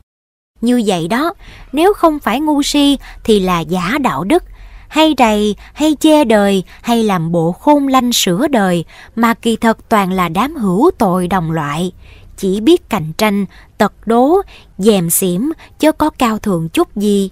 Hạng thế ấy hay nghiêm khắc khi xét người mà hay dung chế lúc xét mình, có khi vì muốn che đậy, trốn tránh tội lỗi mà đổ nhau cho kẻ vô can, thật đê hèn, khiếp nhược không gì bằng. Nhưng cũng ngộ đôi chút, giàu ác giàu ngu, ai cũng dành cái hay cái phải, rốt rồi cũng ngỡ mình là phải thật. Công bình mấy ai biết, mấy ai có sẵn cái bụng ăn ở công bình, ai quân tử, ai tiểu nhân. Muốn phân biệt dàn thâu, hãy xem người ở chỗ thực tế, ở nơi công việc làm. Vì có con mắt tinh đời nên cô ba thấy rõ đâu cạn đâu sâu, đâu cao đâu thấp. So sánh thiên hạ rồi dòm lại coi thái độ của chồng thì lòng riêng cô lại càng thêm kính trọng. Cô ước thầm Tôi mà tập cho con được tánh tình như vậy đủ cho tôi lấy làm có phước lắm rồi. Cô lo cho mấy kẻ khốn cùng ở gần mình, cô hăng hái thật vui ở đời và giúp cho kẻ khác đỡ buồn. Khi bé Sang 6 tuổi, cô Dung mới khởi dạy học, rồi dạy viết chớ chưa cho đến trường. Cô thầm nói, để mình làm thầy con mình xem sao làm ra cái thời khóa biểu để cho con biết giờ học, giờ chơi, mà thường những giờ chơi lại là giờ học rất bổ ích. Cô dẫn con đi dạo, cô biết dùng vật liệu tự nhiên ở trong giường mà giảng bài cách trí, hoặc chỉ mặt trăng mọc, dũng nước tràn mà cắt nghĩa địa dư. Nhờ vậy mà cái thì giờ đăng đẳng của khách dòng phu cũng có lúc chạy mau đôi chút. Còn nỗi nào mừng hơn là đôi bạn chung tình, Nam Bắc cách xa, dập dồn thương nhớ, mà ngày nay đặng tay nắm mặt nhìn. Đoàn hữu minh về. Công toại danh thành, cảnh nhà lại vui vẻ, đầm thắm hơn xưa. Coi tình đời cũng ngộ, cũng thời một đoàn hữu minh mà lúc làm anh giáo quèn kia có mấy ai kính nể mấy ai yêu đương, ngày nay mang một cái lốt ông thôi thì thiếu chi kẻ e dè bẩm khóm róm chào. Trách chi thường diệt cái hư danh mà người ta quần quáu bấu xé nhau, trách chi thường diệt cái hư danh mà người đời hay ganh ghét nhau. Đoàn hữu minh không lấy sự người tôn trọng mình làm dinh diệu, mà lại cho làm sự buồn cười, nghèo hèn ráng ở cho được trong sạch, ít ai biết mà kính gì, cao sang giàu có hôi tanh cũng lắm người quý trọng. Đời là vậy, có cần gì ai biết mình chi, mình biết mình là vui vậy, cái thói a vua bợ đỡ, nó có từ thượng cổ sẽ lưu luyến đến hậu lai, lạ chi mà phải bận lòng. Mấy ngày đầu khi mới về, khách tới mừng tân quan không dứt, có người đến mời dự tiệc, có người đem lễ vật cho, nhưng chồng cô Dung vẫn kiếm thế từ đi cả. Nhiều lời bàn bạc nghe mới ngộ. Để tôi nói ông Trường Tiền mình xin nhà nước phóng cái lộ theo tranh miếng ruộng tôi chơi. Còn tôi, tôi mượn ổng xin dời cái cầu sắt lại trước nhà tôi, đặng tôi lập tiệm hàng xén. Ít hôm sau, có cô thường đến thăm. Chẳng phải là thật bụng mừng mà đến chia vui. Ý chị dâu muốn rõ coi lời nói rằng đoàn hữu minh làm trường tiền hư hay thiệt. Cô Dung hết lòng hậu đãi nhưng không khỏi cho chị dâu lúc ra khỏi nhà buông tiếng chẳng lành. Bây giờ người ta làm bà rồi, coi bộ hí hất dữ chứ. Đoạn thở dài. Hey, chồng người ta thì vậy, còn đàn ông của tôi sao mà chỉ biết ăn rồi lo dưỡng dốc thôi, thấy mà ngán. Nói thật ra chồng của cô thường là người lương thiện mà những con người đê tiện như vợ y có biết gì câu hiền phụ kính phu. Cách một tuần, đoàn hữu minh cùng vợ con đi giếng cha mẹ ruột cùng anh hai chị hai, có đem cho mấy món đồ mua ở Hà Nội, rồi cũng lần lượt đi đáp ơn cô bác đã chiếu cố. Kế cho giấy bổ chàng lãnh chức làm việc ở bổn tỉnh. Cô ba lấy làm sự may, vì nhà gần Châu Thành, tiện bề cho chồng đi về sớm tối. Gần được một năm, gia quyến cô phải dời ở tạm nơi phố gần chợ, vì nhà cũ có nhiều chỗ cần phải sửa thay gì. Hằng ngày thường mấy giờ rảnh, đoàn hữu minh cởi xe đạp đi xem sóc việc làm, chiều về hai vợ chồng bàn tính cách sẽ sắp đặt gia đạo thế nào, mơ tưởng các công cuộc tương lai làm sao. Thầy nói thầm như vậy, rồi dặn đèn cho tỏ lên mà nằm đối mặt vợ cho đến ngủ mòn. Chương 6 Người đâu gặp gỡ làm chi Hôm ấy nhằm ngày Chúa Nhật, cô Dung thay mặt cho đoàn hữu minh đi thăm cha mẹ chồng chưa về. Thầy trao tiền dặn người tới già mua vật thực và đồ dùng đặng về giường chơi trọn ngày. Cây cỏ xanh rì, trời thanh gió mát, trên nhành chim hót ve đờn, ấy ai ở nơi đô hội phiền ba nắng hạ thui mình, bụi hồng táp mặt, sao không tìm nơi thanh khoản như vậy mà nghỉ xác dưỡng thân? Trong nhà lo thợ sơn cửa, đoàn hữu minh điểm tâm xong dạo bước ra đi chơi trong giường. Hai bên lề trồng cỏ chi, cỏ lan, lại có những cây ngâu, cây liễu và nguyệt quế, bạch mai, mọc đối nhau, phe phẩy phất phơ nhành, đọt non lập lòe xanh đỏ trắng tím, lại điểm mấy hộp sương khoe đẹp với dần thái dương hé mọc. Thầy tinh thần khoan khoái khi ghé xem khóm đào trổ trái, khi ngừng nhắm hàng lựu đơm bông, dạo quanh dạo quẩn, lội dọc lội ngang, đến chừng ra tận phía sau giường tới mé sông mới dừng chân lại mà ngắm cảnh nước dờn mây bay. Thình lình nghe tiếng ý, thầy dòm qua, thấy một cô đương chớ dớ trên chiếc xuồng, kế té ùm xuống nước. Thầy mau chân nhảy xuống vớt người bị rủi đem vô bờ, rồi lật đật vớt cần câu và mấy tấm dáng bị nước chảy mạnh đưa đi xa. Chiếc xuồng có cắm sào nên còn lại nơi, song bị chìm phân nửa. Lên bờ chàng hỏi người lạ mặt. Cô giật mình không? Cô làm sao mà đến nỗi rủi ro như vậy? Cô cúi đầu cười và đáp. Rất cảm ơn thầy, may không mạng tôi đã trôi theo dòng nước. Tôi câu được con cá ngát. Khi đem lên xuồng, nó sút lưỡi câu làm nhảy vào mình tôi. Tôi sợ nó đâm nên tôi né, nhưng xuồng nhỏ lắc quá, tôi gượng không lại, phải té xuống sông. Cô ở cách đây gần xa mà đi chơi không bảo ai theo với. Tôi ở nhà dì tôi, cái nhà ngói phía trên kia. Buồn nên tôi thường đi câu giải trí, tánh thích vắng vẻ nên tôi không cho trẻ nhỏ theo. Thưa, tôi đi câu ở bến này thường, không về hôm nay lại có việc rủi như vậy, rủi mà may việc có thầy cứu vớt, Dạ, có khi thầy là chủ giường này. Thưa phải, té ra cô cũng người lối xóm mà tôi không đặng biết mặt. Thầy không biết cũng phải, vì tôi ở Sài Gòn mới về ít tháng nay. Hai người đứng nói chuyện mà nhầm lẫn nhau, cô thì trắng đẹp như loài hoa chi tử, buổi lát đác mưa xuân, gót đỏ môi son, răng trắng trong, tay mềm mại, cái áo đen ướt dính sát vào mình làm cho rõ cái dốc dịu dàng, đầy đặn nở nang. Chàng thì có ý thẹn thùa vì đi chân, đầu trần, lại thêm áo mỏng quần thưa, ướt mềm lấy làm khó chịu. Làm thinh ngó nhau cũng ngượng, mà nói nữa không biết chuyện gì. Sau cùng đoàn hữu minh chỉ nói, Cô ước mình có khi lạnh lắm, nếu cô còn hoảng hốt không bơi đặng, tôi xin vô phép đưa giúp cô về. Cô vẫn tự nhiên. Thưa không hề chi, tôi không lạnh, nhưng phải về thay áo, khi khác tôi đến thăm tạ ơn thầy luôn thể.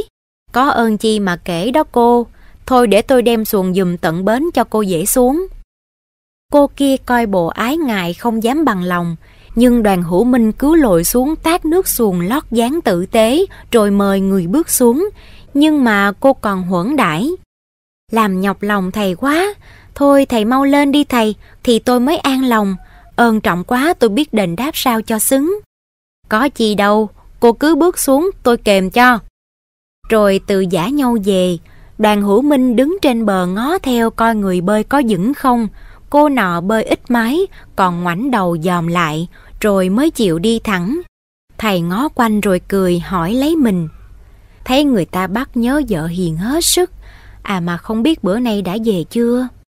Qua bữa chiều sau, đoàn hữu minh đạp xe đến xem công việc thợ làm, còn sớm thầy dạo giường, không biết vui chân đi hay tại cái hấp lực gì u ám kéo chàng ra tới mé sông chỗ kỳ ngộ hôm qua, vừa ngước mặt lên đã thấy thuyền tình đậu đó. Thầy dừng chân lại dường như bắt suy nghĩ, rồi sẽ lén quay trở về. Nhưng không kịp, mỹ nhân đằng kia đã cúi đầu chào, thế là thầy phải đáp lễ. Chào cô, cô cũng còn đi câu. Dạ, thầy tưởng cô kia muốn hỏi điều chi, nhưng ai cũng làm thinh, rồi thì cũng ngượng ngập. À, thưa cô tôi về. Dạ, thầy, thầy về sao? Tôi về kẻo trễ. Thầy đi xa rồi, biết rằng sau lưng có kẻ dòm theo, chẳng sai, người kia dòm theo, và trời môi cách hữu duyên mà nhái lại nho nhỏ. Tôi về kẻo trễ, cái người làm sao? Chàng nọ vừa đi vừa nghĩ dẫn nghĩ dơ, cũng nói thầm. Cái người làm sao? Nhưng chàng liền trách lấy mình. Người làm sao cũng không thế nào hơn được vợ yêu dấu của mình mà. Thật, không người đàn bà nào hơn cô Dung của đoàn hữu minh. Cái tình nó là vậy, nó có trăm ngàn cách làm cho người yêu là mặn mà hơn hết. Phương Chi một người vợ có vẻ thanh tân yểu điệu, vừa được đức hạnh dạng toàn, thì còn Chi là quý bằng. Mấy ngày sau đoàn hữu minh không ra giường, hoặc có đi thì không ra phía sau. Vợ chàng vẫn chưa về. Thằng con trai biến chơi nên buộc mẹ phải nán lại nhà ông nội. Chúa nhược kế đó, thầy tính ở giường trọn ngày nữa, thề rằng không đến mé sông, chỉ dùng bữa rảnh ấy mà nhắm xem chỗ nào trồng cây thêm, chỗ nào để kiển, chỗ nào dưỡng hoa có vẻ ngoạn mục. Thầy đương điểm tâm như mọi bữa, bỗng có người nhà quê vào nói. Bẩm ông, ông dặn tôi săn sóc mấy cây xoài, này nó đã trọng rồi nên tôi đem cho ông trồng. Mà xoài thì phải mọc sâu ranh, thầy vốn ham trồng trặc, bèn lật đật uống cạn tách cà phê rồi cùng người tớ già đem cây ra phía sau giường. Sớm mai trời mát mẻ, quạt gió hiu hiu thổi, đờn ve lãi rãi kêu, đoàn vui lo việc trồng cây, phần lỗ này nhắm đằng kia, xem chừng thích ý lắm. Thình linh thầy giật mình, kia nơi bờ sông ai ngồi câu, có phải người hôm nọ? Người đứng dậy chào, nhưng nét mặt không tươi cười như mấy lần trước kia, mà lại lộ ra cái vẻ tuổi phận buồn duyên, coi đáng tội nghiệp. Bất đắc dĩ ông trường tiền thật thà ta phải kiếm lời. Mỗi ngày cô đều câu sao cô? Chừng đó người mới gượng cười. Dạ, mỗi ngày, nhưng chẳng biết sao cá nó cũng buồn chẳng có một con dính lưỡi. Thầy cười. Cũng buồn. Thầy không dám hỏi nữa, lại có ý ăn năn gì lỡ hỏi như sợ người ta biết mình hiểu ý. Cô kia cũng làm thinh, chỉ ngó thầy một cách hữu tình. Ngượng ngập vài câu vô vị rồi cũng từ giả nhau mà về.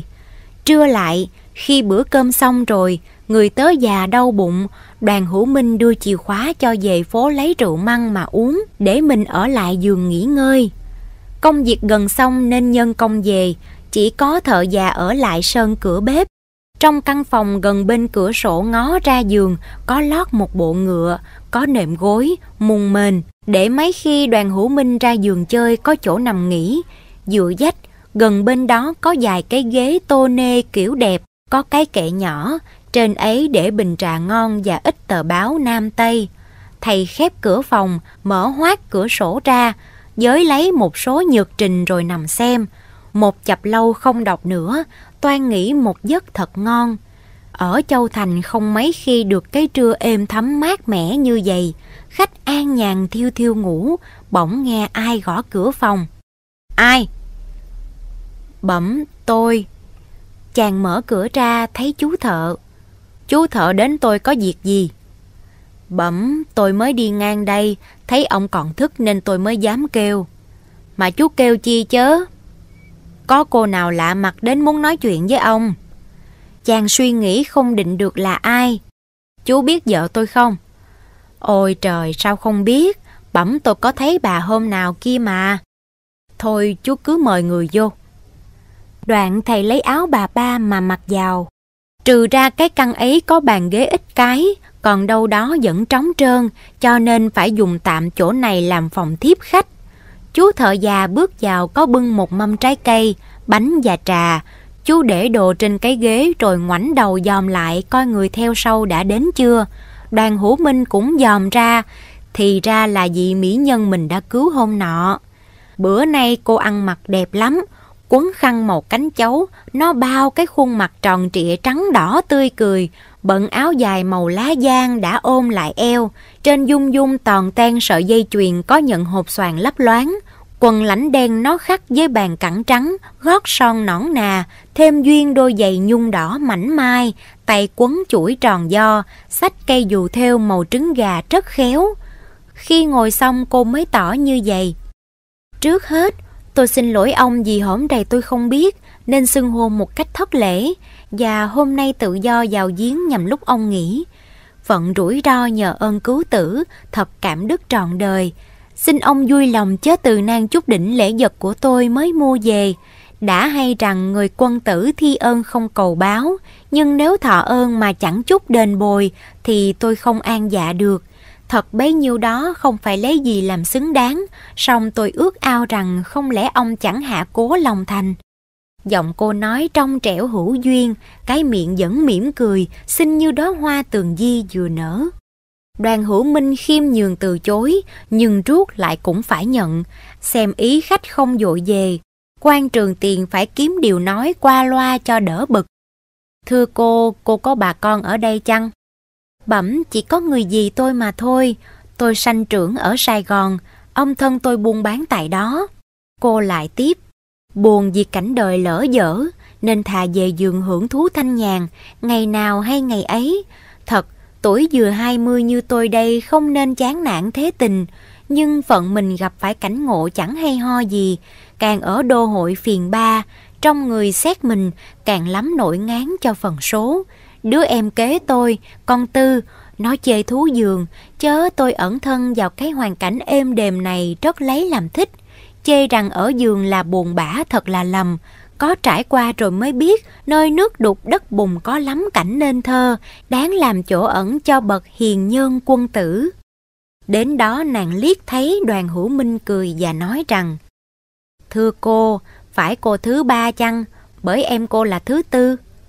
Dạ phải, bẩm ông, nhà này mới cất lại, có khi ông để giao quyến ở tạm nơi nào chứ? Tôi có mướn phố ở chợ. Bỗng chú thợ già vào châm dùm bình nước rồi nói Bẩm ông, tôi đi chợ mua đồ, chừng 4 giờ tôi trở lại và tôi cũng có việc cần. Chàng gật đầu nghĩ thầm, ai nấy đi hết để một mình cô này với tôi sao kia. Đoạn tiếp chuyện, thưa khi cô có đi học chứ? Có, tôi học đến năm thứ nhì ở nữ học đường, kế mẹ tôi mất, tôi phải cam phế học đã 3 năm rồi im lìm. Bây giờ chỉ nghe vài con chim líu lo bên hè như bạn đồng tâm thừa lúc nhàn mà luận bàn thế sự. Mấy con dê càng to giọng hát, tưởng chừng lũ côn trùng nhỏ nhen ấy đối với cảnh sanh tình mà hát, càng lâu càng tha thiết, quên sự mệt mỏi. Chòm tre thỉnh thoảng cò ke déo dắt, như cám dỗ, như rủ ren người hãy tạm nguôi cái trí nghĩ quẩn lo quanh. Ai có cảm giác thì không tránh khỏi cái ảnh hưởng của hoàn cảnh, nhất là cái hoàn cảnh ấy nó hạp với cái tánh tình của mình. Đoàn hữu minh vừa bị cái ảnh hưởng của hoàn cảnh, vừa bị cái sức quyến rũ của nhan sắc, khiến cho trái tim bỗng nhiên mà nhảy thình thịch, hơi sung sướng mà nhiều bực bội. Nếu chẳng sợ vô lễ thì thầy đã để khách ngồi đó mà đi ra ngoài hóng mát cho tâm thần hết phải xôn xao. Mà mấy lúc dậy thì không gì khó khăn bằng phải ngồi êm, bụng vẫn ngờ rằng có cặp mắt tinh ma của ai dòm thấu cái nội cảm của mình và ngắm xem cái ngoại dung biến đổi của mình. Thầy đứng dậy trót nước mời, tay trung chảy làm cho đổ tháo, rõ là một kẻ sợ gái thật, khách dòm thấy thì có mừng thầm. Thầy hết sức gắn gượng làm cách tự nhiên. Mời cô uống nước. Khách không uống, ngồi liếc ra ngoài, trà giá nghĩ ngợi rồi dường như muốn đứng dậy khiếu từ, nhưng vẫn nán ngồi, lấy khăn mùi xoa nhiễu ra lau miệng. Mùi thơm bay nực nồng, khiến cho chủ nhà hửi lấy như lỡ tỉnh lỡ say, rồi cô nói, Dạ, tôi xin cáo từ. Đoạn tiếp nho nhỏ dường như bảo lấy mình. Ở lâu sợ con nhỏ nó kiếm, thấy giày nó nghi. Kế to lên. Đã vậy tôi sợ làm nhọc lòng ông lâu. Ngó quanh không thấy đứa tớ nào, cô bổn thân lại sắp mâm đồ ăn lên kệ, lễ vật chia ra những trái bom, xá lị cam tàu, quýt đường, bánh mì Jacob, trà Trung Quốc kỳ trưởng, món nào cũng quý, cũng ngon, ngon hơn nữa khi nằm trong bàn tay trắng trẻo dịu dàng, in như bột nắng. Đoàn hữu minh không dám dòm, lại sượng sùng như muốn cầm khách mà không thể tỏ. Cô về sao? Tôi lấy làm hân hạnh mà được cô đến giếng. Thật nhọc lòng cô quá, tôi không an tâm. Cô không đáp, sắp xong mới nói. Bẩm ông tôi về. Dạ, cảm ơn cô. Cái nét thanh tân yểu điệu của khách đi lượn theo bóng cây khiến cho người nom lén phải khen thầm, mà dường như thương như tiếc mới dòm lại chỗ ai ngồi khi nãy mà hình dung ra cái nét oanh ăn nói liệu đứng ngồi. Thoạt nhiên, đoàn hữu minh lấy làm mừng, trên bàn gió thổi phất phơ cái khăn lụa hường của người bỏ sót. Chàng cầm lên kê vào mũi, rồi xè ra nhắm nhía mà cười, đoạn chàng bước ra khép cửa lại, màu gót theo mỹ nhân. Cô ba, cô bỏ quên cái khăn đây.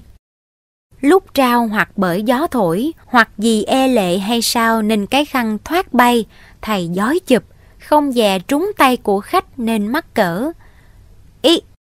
Xong cô nọ chỉ mỉm cười, cái mỉm cười có thế in ngay vào trí não người ta không bôi xóa được. Chương 7 Dây tình vướng cẳng Hôm nọ, nhân buổi chiều tối, cô Dung cùng chồng con ngồi xe sông mã dạo trên con đường nằm dài theo bờ sông, cỏ sậm sậm xanh, trời ưng ửng đỏ, cây hiệp đoàn chạy ngược, nước nổi lượng trèo ngang, xa xa có chiếc tàu thung dung trong cái cảnh bình bồng êm ái. Cô xe sẻ hỏi chồng, thường khi gặp mấy cảnh đẹp mình vui lắm, sao bữa nay ít nói chuyện quá, hoặc có việc chi buồn chăng mình? Đoàn hữu minh sững sờ, ngồi đó mà trí vẫn ở đâu, nghe vợ chàng nói mới định thần, hỏi lại. Mình có chi? Cơ khổ thôi, không nghe. Tôi hỏi mình buồn lắm sao? Có chi buồn? Chàng đáp mà gượng cười. Tôi nghĩ cách sắp đặt trong nhà mới thế nào cho vừa ý, chứ có điều gì đâu. Đoạn lộ ra vẻ vui lấy thuốc hút. Cô Dung không lấy làm tin, cô biết chắc Lan Quân có điều buồn lo đây. Thường khi thầy muốn tính việc gì đều bàn bạc với cô cả thảy, cô có ý xem chồng mấy bữa trầy ít nói ít cười. Khi ngồi xem sách, con mắt chỉ ngó đăm đăm vào vách trắng. Đến bữa ăn cũng hối hả, không chờ thôi một lượt với cô. Ngày nghỉ thì ở trọn nơi giường, mấy buổi chiều lại về trễ, thầy không năng xem bài dở của thằng bé Sang. Tại làm sao? Hay là thầy nhiều công việc phải lo? Không lẽ vì thầy bạc thiệp siêng năng làm giỏi lắm? Hay là thầy ngoại tình? Không, một trăm lần không. Cô thương chồng hết dạ hết lòng. Giả lại cô còn nhớ những hồi chồng nói Tôi thương mình vô tận vô biên tôi được vợ như vậy, hạnh phúc hơn được làm vua giàu sang trên thế. Hay mấy bữa trầy trong mình cô chẳng khỏe trí không vui, nên có chỗ thất xuất chi với chồng. Cô nhớ không có khi nào ăn nói sổ sàng hay là làm tuồng hờ hững. Cô tưởng chắc tại mình có điều chi chẳng hạp ý chồng mà chồng không nỡ nói. Trong sự chung chạ thường hay có vậy, thân cận quá rồi có khi đối nhau không được dè dặt, thành thử lâu ngày kém cái vẻ lịch sự, không như buổi ban đầu. Cho hay gừng càng già càng cay, tình càng lâu càng thấm, nhưng há chẳng nên kính nhau hoài cho được trọn cái mỹ ý, được đúng với câu thủy chung như nước kia sao. Không lấy sự tước lộc dinh hoa mà cái lạc thú ở đời thì chỉ nhờ cái tình thôi. Người tâm tính như vậy, khi thấy cái tình thương của ai đối với mình có hơi lợt lạc thì đã khổ hơn người khác, thì đã khổ hơn người khác bị gián cấp, bị thất lợi nhiều. Cái nghĩa chữ sống của cô Dung là trong chữ thương, cho nên có thể hiểu ái tình quan hệ cho cái đời cô là giường nào. Chồng không vui, cô buồn. Chồng buồn, cô thảm tình là nợ đời đời kiếp kiếp, vốn đâu mà cứ đẻ mãi lời ra. Cô nắm tay chồng. Mình ơi, tôi có làm lỗi điều chi xin mình cứ dạy bảo, nếu mình bớt thương tôi là khổ cho tôi lắm nghe mình. Thầy dội vàng hôn tay vợ mơn trớn mà nói. Làm sao tôi hết thương mình được, không có chi đâu, đừng ngại, cũng đừng nói vậy nữa, nghe nhờ ai mà tôi được sống vui. Chồng nói vậy nhưng cô vẫn lo, nếu vì tôi mà chồng tôi buồn thì khốn nạn phần tôi lắm, chồng thương tôi đáo để kia mà. Từ đó cô càng ráng lo cho vui lòng chồng, bổn thân sắp đặt bàn viết cho chồng, sách để có thứ tự, cuốn nào cũ thì bồi sữa, mua cái bình nhỏ để hằng ngày trưng bông tươi cho ngoạn mục, trong nhà món nào cũ xấu đều thay sửa coi sạch sẽ trang hoàng. Cô lựa mấy món ăn ngon mà nấu cho chồng ăn và hay hỏi Đẹp miệng mình không? Tối lại, dầu buồn ngủ thế mấy cô cũng ráng thức, hoặc xem sách, hoặc theo thùa, chờ chồng vào phòng một lượt. Cô may nhiều cái mua xoa kiểu đẹp, cái nào ở góc cũng có hình trái tim, bao dòng hai chữ nờ đờ xỏ tréo cô kiếm đủ cách tỏ dấu ân cần với chồng. Đoàn Hữu Minh không còn tra dáng bản lãng nữa mà lại càng yêu vợ bội phần. Thầy hiểu ý vợ lắm nên hằng kiếm dịp tỏ lại rằng mình không hề lạc tình thương yêu. Thật, chàng vẫn nói thầm. Mình tài đức chi mà được vợ đến vậy, bổn phận mình là phải yêu kính lại hết mực. Này, Đoàn hữu minh ơi, nếu mi để cho người hết lòng hết dạ thương mi phải vì mi mà trầu thì mi là kẻ khốn nạn đê tiện lắm. Phải nhớ rằng ở thế gian này không có người đàn bà nào hơn vợ yêu dấu của mi. Mấy hôm sau này thầy vẫn trơ ở nhà, không siêng đi coi sóc công việc làm tại giường nữa. Thầy nói, còn không mấy chút nữa là xong. Vợ hỏi, chừng nào về nhà mới? Chẳng dè câu hỏi ấy mà làm cho chàng một cái vấn đề khó giải. À, chừng nào về nhà mới? Thầy cũng nghĩ. Về khúc này cũng được, nhưng hay hơn là chờ hết mùa mưa, vì dách mới sơn còn hôi, bàn ghế mua chưa kịp đủ. Rồi thầy cũng hỏi thầm lấy mình. Về lúc này cũng được mà sao không về? Khốn nạn, ta thủa này không hề dụ dự, không hề khi nào. À, mà vì sao phải kiếm lời lần lựa vậy kia? Ai xui khiến? Thầy muốn thú thiệt với vợ và năn nỉ rằng Mình ôi, có một người đàn bà lịch sự lắm, hết lòng thương tôi, nhưng tôi không thương lại được, bởi tôi nguyện trọn đời thương một vợ hiền rất quý hóa của tôi thôi. Tôi cũng có lúc động niệm thật, nhưng tôi tỉnh ngộ rồi, tôi thương là tôi bạc bẽo với mình, tôi là kẻ xấu xa nhất trong xã hội, tôi thề với mình rằng tôi không ở hai lòng. Nhưng thầy lại cười thầm. Ngu, rõ tôi là đứa ngu, chỉ có cái can đảm đánh đổ nổi cái lòng hiếu sắc thì phải khoe làm chi cho rườm, giả lại cũng chẳng hay ho gì. Còn lâu nữa là người ta thương mình mà không được thỏa vọng, ấy là khổ tâm rồi. Mình đã không đói hoài mà còn khoe ra, lấy làm điều tự đắc, há chẳng ác chẳng hèn lắm ru. Vì ai mà người khổ tâm? Thầy buồn, Trong trí bỗng hiện ra cái nét âu sầu khiến cho thầy phải nao nao, nghĩ dơ nghĩ dẫn. Cái người ở đâu mà khéo đa tình, đa tình lại mặn mà, tưởng dùng hai câu thơ cũ mà khen cho cũng không là quá đáng. Chìm đáy nước cá lờ đờ lặng, lững da trời nhạn ngẩn ngơ xa. Nhưng thầy vẫn là người chính chắn, thầy dặn lấy mình, không nên đi giường. Thật, từ đó về sau thầy không đi giường, ngoài giờ làm rảnh thì xem sách, vẽ tranh hoặc chụp ảnh chơi, buổi nhàn hạ thì lấy sự vui dày với vợ con làm thú vị. Hạnh phúc nào hơn hạnh phúc gia đình. Ngày kia cô thường đến thăm, cô Dung niềm nở đón tiếp ân cần. Đoàn hữu minh hỏi chuyện qua loa rồi sang phòng sách, bỗng có người đi thơ cầm vào một cái dây thép, chàng mở ra xem thấy như vậy. Đến Sài Gòn nhà hàng Nam Việt tội nghiệp Josiane. Thầy lật đật xếp mảnh giấy xanh ấy lại, trung rẩy bồi hồi, nằm xuống ghế bố. Vì sao có hai tiếng tội nghiệp, thương hại dữ chưa? Nhưng mà không, không thể nào đi. Mảnh giấy xanh này là lá bùa quỷ quái yêu ma xô dục người vào nẻo khổ. Mặt mũi như vậy, lòng dạ vậy sao? Em Dung, anh không đi đến cái gái lẳng lơ kia đâu. Mà, mà sao lại không đi nếu mình có lòng trơn chánh? Mình sẽ khuyên ai, sẽ dẫn dùm ai vào nẻo phải. Tội nghiệp, tội nghiệp thật. Ôi mà tha đừng đi. Không biết đừng đi hay nên đi, chàng khoanh tay ngó xuống, lui tới trong phòng, rồi mang dớ, bận áo, rồi thắt nơ, rồi lại muốn cởi ném bỏ. Không đi. Người tớ già bước vào. Bẩm, ông sửa soạn đi. À, à đi Sài Gòn. Quái, ai suối thầy trả lời đi Sài Gòn, thầy nằm xuống ghế để định tâm lại. Người lão bộ sách giày đem vô. Bẩm ông tôi đánh giày rồi. Thầy mang giày. Bẩm ông, tôi đã kêu xe lại trực trước ông ngoài ngõ. Xe lại rồi sao? À, thôi, chú bước ra để tôi sửa soạn. Thầy không sửa soạn, chỉ nằm nghỉ. Bẩm ông xe chờ đã lâu. Đoàn hữu minh dội vàng đứng dậy thay y phục. Đi. Thầy chậm rãi, nói cho đúng là rụt rè, bước qua phòng khách mà cho vợ hay rằng mình đi Sài Gòn chơi, mai sẽ về, lại căn dặn vợ ở nhà tối dẫn chị hai xem hát. Xe chạy, thầy trong mình lần lần nhẹ nhàng, lại có ý trong mau tới. Khi đến phòng khách sạn, thầy gõ cửa không chút ngại ngùng.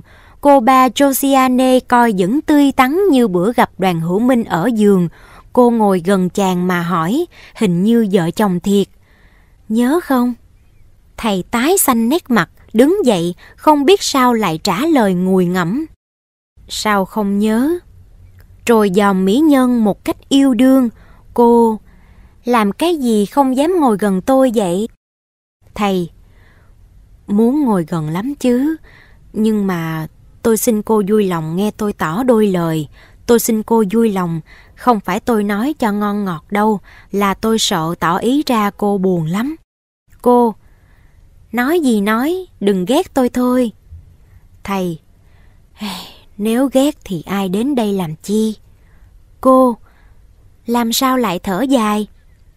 Thầy, tôi không thế nào gần cô được. Cô, sao vậy? Trời ơi! Cô Josiane nằm ôm lấy đầu, nét hoa bỗng nhiên trầu héo một cách thương xót vô cùng. Thầy xích lại dòm.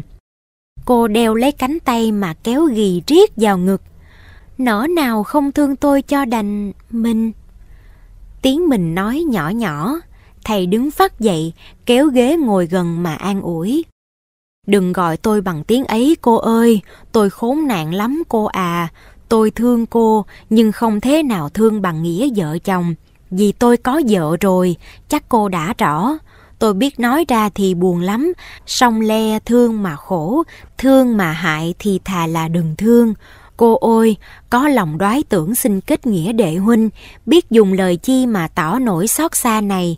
Người như cô, cây cỏ thấy cũng phải siêu lòng, huống chi tôi là kẻ đa cảm, bởi thương lắm nên ban sơ tôi không có cái can đảm mà tỏ rằng tôi đã có đôi, nhưng vậy có trời chứng tri, tuy quá thương chớ sự tiết trinh của cô tôi vẫn vẹn toàn kính trọng. Ngày nay tôi đến đây đặng an ủi cô, dầu cô oán ghét thế mấy, quý hồ cô đừng buồn rầu là đủ cho tôi khỏi xốn sang. Cô xét lại mà coi, ở thế gian này Trang Anh Tuấn chẳng thiếu chi, huống nữa cô là đóa hoa khôi giá ngàn vàng, lo gì chẳng đặng gặp người xứng đáng. Xin cô đừng quá nặng lòng cho tôi khỏi bức trức lương tâm. Cô Josiane ngó thầy, cái ngó vừa có nghĩa đau đớn tuổi phiền, vừa như khinh như ngạo. Đã trễ rồi, không cho tôi thương thì nói phức một lời, văn hoa mà chi, chuốt ngót mà chi, rồi về đi kẻo vợ trong con đợi. Còn ai có thất tình mà chết, trối kệ họ mà. Cô nói rồi cắn móng tay, ngó mặt vào trong, thỉnh thoảng lấy môi xoa lau nước mắt. Thầy nói, tội nghiệp mà cô, đừng buồn mà. Đàn kia không trả lời, đàn nọ càng xót xa không thể mở miệng. Im liềm, cái im liềm gớm ghê hơn lúc ở giường ngày nọ.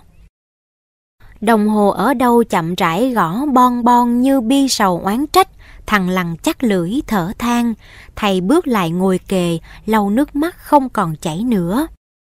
Ở nhà cô Dung cùng chị dâu vui chuyện, cô Trường Tiền đem món ngon vật lạ ra đãi khách thân, đến bữa ăn dọn toàn mỹ dị. Cô thường thật tình ăn, thật tình cười nói, đứa con bụng binh rỉnh, đầu chờ giờ đòi bánh trái liền liền. Đờn bà ngu dốt ngồi lâu tất đem chuyện thiên hạ mà phanh phui, chớ biết khoa học gì mà bàn, công hành gì mà luận. Thôi thì khen chê thiếm này khôn còn mẹ kia dạy, hết gia đạo người rồi tới gia đạo mình. Thiệt, cô gặp dưỡng ba đây có phước hết sức, cảnh nhà cô vui vẻ, còn gia thế tôi, ôi thôi, buồn biết bao nhiêu. Anh hai của cô giờ sanh tật cằn nhằn tối ngày, hồi nào sao, bây giờ hở ra mỗi chút là mỗi bắt lỗi. Đàn ông nhỏ mọn thật khó chịu, tôi giận bỏ đi chơi cho ở nhà mặc sức nói hành. Cô Dung làm thinh, lấy làm chua cay lắm, cô trách thầm chị dâu bức mây chẳng ngại động rừng, lại thương hại cho anh về nỗi nồi tròn dung méo. Thật, đàn ông giàu tốt thế mấy cũng không sao tránh khỏi cái tiếng ác của đàn bà thất giáo. Ai là vợ khôn có bao giờ đi than phiền, trách móc chồng với người nào. Đơn bà Hiền là người nào biết tô điểm cho cái danh giá ông chồng. Nhưng khổ thay, đó chỉ là thiểu số. Phần nhiều phụ nữ khi thương thì coi chồng như tượng vàng, dốc ngọc, đi đâu cũng khoe khoang, khoe khoang cho đến mình nghe mà mắc cỡ. Lắm khi trong câu chuyện lại thêm nhân thêm nhị cho cái hương danh của chồng quá ư nồng nàn. Trái lại, khi có chút chi nghịch ý thì làm xấu cho chồng, điều mà nghịch ý thường chỉ do sự nghi lầm tưởng bậy, có khi sanh ra ác cảm nhau quá hơn kẻ nghịch thù. Hạng chí ngu là vậy, còn một hạng ngu pha chè nữa là hạng có chút ít học thức, cái học thức vô lương tâm, tai hại cho linh hồn, Hạn này khi nào có điều chi trái nghịch mà chồng cấm ngăn hoặc phong tục cấm ngăn thì ông ống la lên, nào đờn ông áp chế, phong tục hữu hậu, nào cần có tự do cho đờn bà, cần cho họ bình quyền với chồng. Cái chức vụ của đờn bà là gì? Giúp cho bạn chung thân của mình được yên vui đặng đỡm đương những công việc lớn lao. Có giỏi nữa là giúp cho chồng vững chí trong đường phải mà làm nên nghiệp cả. Có thể nói rằng người hiền phụ là thuốc tiên để chữa những đau khổ của đàn ông, là cái bùa tiên để biến hóa sự chán ngán làm sự hy vọng, chẳng quý lắm sao. Nhưng than ôi lại có thứ đàn bà như cô thường. Nào có biết cho rằng lời bất nhã trước kia là không hợp ý em chồng, cho nên chị dâu cứ cười cười nói nói. Thôi đi chị hai, đừng phiền. Thôi đi, tôi không phải binh, Nghe chị hai xong tôi biết ý anh hai không chịu bậy bạ, sợ chị nghi làm chớ. Thường thường có lắm việc mình thấy tận mắt, nghe tận tai mà còn không chắc đã là quả thật chưa, huống chi những chỗ nghi ngờ của chị không có bằng cớ gì hết. Cô thường lại lên giọng cao. Cô nói vậy chứ đời có bằng cớ thì còn gì. Theo ý tôi có tích mới dịch ra tuồng, thế gian chẳng ít thời nhiều, bỗng không ai có đặt điều cho ai. Anh hai cô chẳng có con này con kia, làm sao dám nói. À, tôi nghe phong phanh dượng ba cũng có mèo nữa mà. Cô Dung cười. Ai ở đâu, chị? Người nào ở Sài Gòn, bảnh lắm. Mèo của dượng mà dễ lôi thôi như mấy con gà dường kia đa. Cô không hay sao? Không. Ngày tới tối có đi đâu hay, mỗi tháng dượng đưa tiền lương cho cô đủ không? Có đủ. Có ghen không? Ghen lắm chớ, nhưng tôi không hề nghi quấy cho chồng tôi, còn rủi như tôi không khéo cách ăn ở cho chồng vừa lòng, chồng có ý thương ai tự ý. Mà thôi, chiều rồi, chị hai sắm sửa đi dạo với tôi. Đi thì đi. Nè, cô có giỏi chứ cô gặp thử coi, thương chồng thì thương, chớ hễ tôi gặp với con nào tôi cắt cổ cũng đặng. Họ nói họ thấy dượng ba với cô đó thường xuyên giảng với nhau tại giường. Cô coi chừng kẻo dưỡng mê rồi dưỡng xin đổi đi chỗ khác dẫn người đó theo, bỏ cô ở lại đa. Mà cô đừng học lại dưỡng oán tôi nghe, chị em tôi mới nói. Cô Dung cười lạc, chỉ gật đầu, rồi say trẻ múc nước cho chị dâu rửa mặt đặng sửa soạn đi chơi. Giả dạng làm vui chứ cô ba lấy làm buồn. Ban đầu nghe lời mét thoát quả quyết kia, cô hơi nghi chồng, nhưng tự bảo mình chơn chánh mà bị nghi ngờ có buồn chăng, nghi như vậy có lỗi chăng, phu quân không phải như bọn tầm thường kia, nghi chàng cũng bằng làm khổ cho chàng vậy. Trái lại, nếu mình thanh bạch mà bị chàng nghi có thảm chăng? Không, cô không nên nghi, càng nhớ lời nhau lại càng không nên nghi nữa. Nhưng cô không sao khỏi buồn của kẻ phải buộc lòng nghe lời thô tục phi lý. Buồn rồi trong ra mau đến lúc chồng về, tựa hồ kẻ bị ngột trong cảnh tối tăm, mong mỏi ánh sáng mặt trời. Bây giờ nàng lại thấy rằng chồng nàng rất cần thiết cho sự an ổn của nàng đến cái linh hồn của nàng cũng nhờ cái đức ông chồng mà được bình tĩnh cứng cáp. Bây giờ thấy chồng nằm gác tay lên trán, nàng lấy làm ái ngại mà tự hỏi, có điều chi chàng chẳng vui. Cô biết, con người ai có tính đa cảm thì thể nào không khỏi phải buồn vì những điều trái ý thường xảy ra ở đời. Người hữu tâm là người hay chịu sầu, không than thở, không phiền hà, vì có ai là kẻ tri âm hiểu cho thì xem bằng được uống huần thuốc bổ lao, bao nhiêu chán ngán nhọc nhằn cũng có thể tiêu hết. Khi nào thầy lộ vẻ chẳng vui thì có vợ chúm chím cười, mời anh uống nước, hoặc anh ăn dùm dĩa bánh đỡ buồn. Thành thử ông trường tiền ta dỗ buồn cũng không dám buồn, lại phải kiếm lời phân cho an lòng vợ. Tôi không có buồn điều chi mà mình phải nhọc công chăm chỉ đến tôi. Độ này có nhiều việc lo nên phải suy nghĩ đó thôi. Chương 8 Quả tan bắt được Tàu sắp mở đỏi. Cô Dung hối hả mua ít trái cây, bánh kem theo dùng dọc đường. Cô cùng thằng Sang bước xuống tàu lựa chỗ ngồi, thình lình có tiếng gọi. Cô ba, cô ba, đi đâu đó? Nghe kêu má thằng Sang dòm ngó thấy cô thường, Cô vui vẻ hỏi Ủa chị hai, chị đi đâu mà tình cờ gặp nhau đây? Tôi đi Sài Gòn rước má tôi Bác đi Sài Gòn đã bao lâu? Đã sáu bữa rồi, đi điện bà có hẹn khi về ghé Sài Gòn chờ tôi Còn cô đi đâu? Tôi về thăm ba má tôi Thằng Sang nó nhớ ông nội, đòi đi hỗn rầy Nay tôi mới ra đi, thời may lại gặp chị, tôi mừng quá Hai bác đâu có ở nhà, mới đi Sài Gòn hôm kia đây mà. Tôi có gặp, bác đi coi chân cộ trà với mua hàng. Theo như lời bác nói thì mốt bác mới về một lượt với tôi, vậy thì có về nhà cũng không có bác. Thôi đi Sài Gòn với tôi chơi. Cô Dung không đi, còn thằng Sang hỏi má cho nó đi với mợ, đặng sẵn dịp theo bà nội mua cái túi da để cặp sách đi học và hộp màu, hai món đó nó ao ước hỗn rầy. Hôm ấy cả trời mây tỏa, cái nhiệt lực của dần Thái Dương không thẳng nét như mấy ngày trước kia. Hình như cả vỏ trụ có cái nhà kiến cực to che ở trên, làm ánh sáng không chói lòa, cái khí hậu không nồng nực. Gió lai rai thổi, phất phơ giặt áo của kẻ đi đường. Cô Dung thông dong trở lại nhà, trong mình như nghe được chút hân hoan, cô vừa đến ngõ gặp chú lão bọc. Bẩm cô mới về, sao cô trở lại còn cậu sang đâu? Cô cắt nghĩa sơ rồi bước thẳng vào. Lão lại tiếp. Bẩm, ông tôi không có ở nhà. Đi đâu? Đi giường.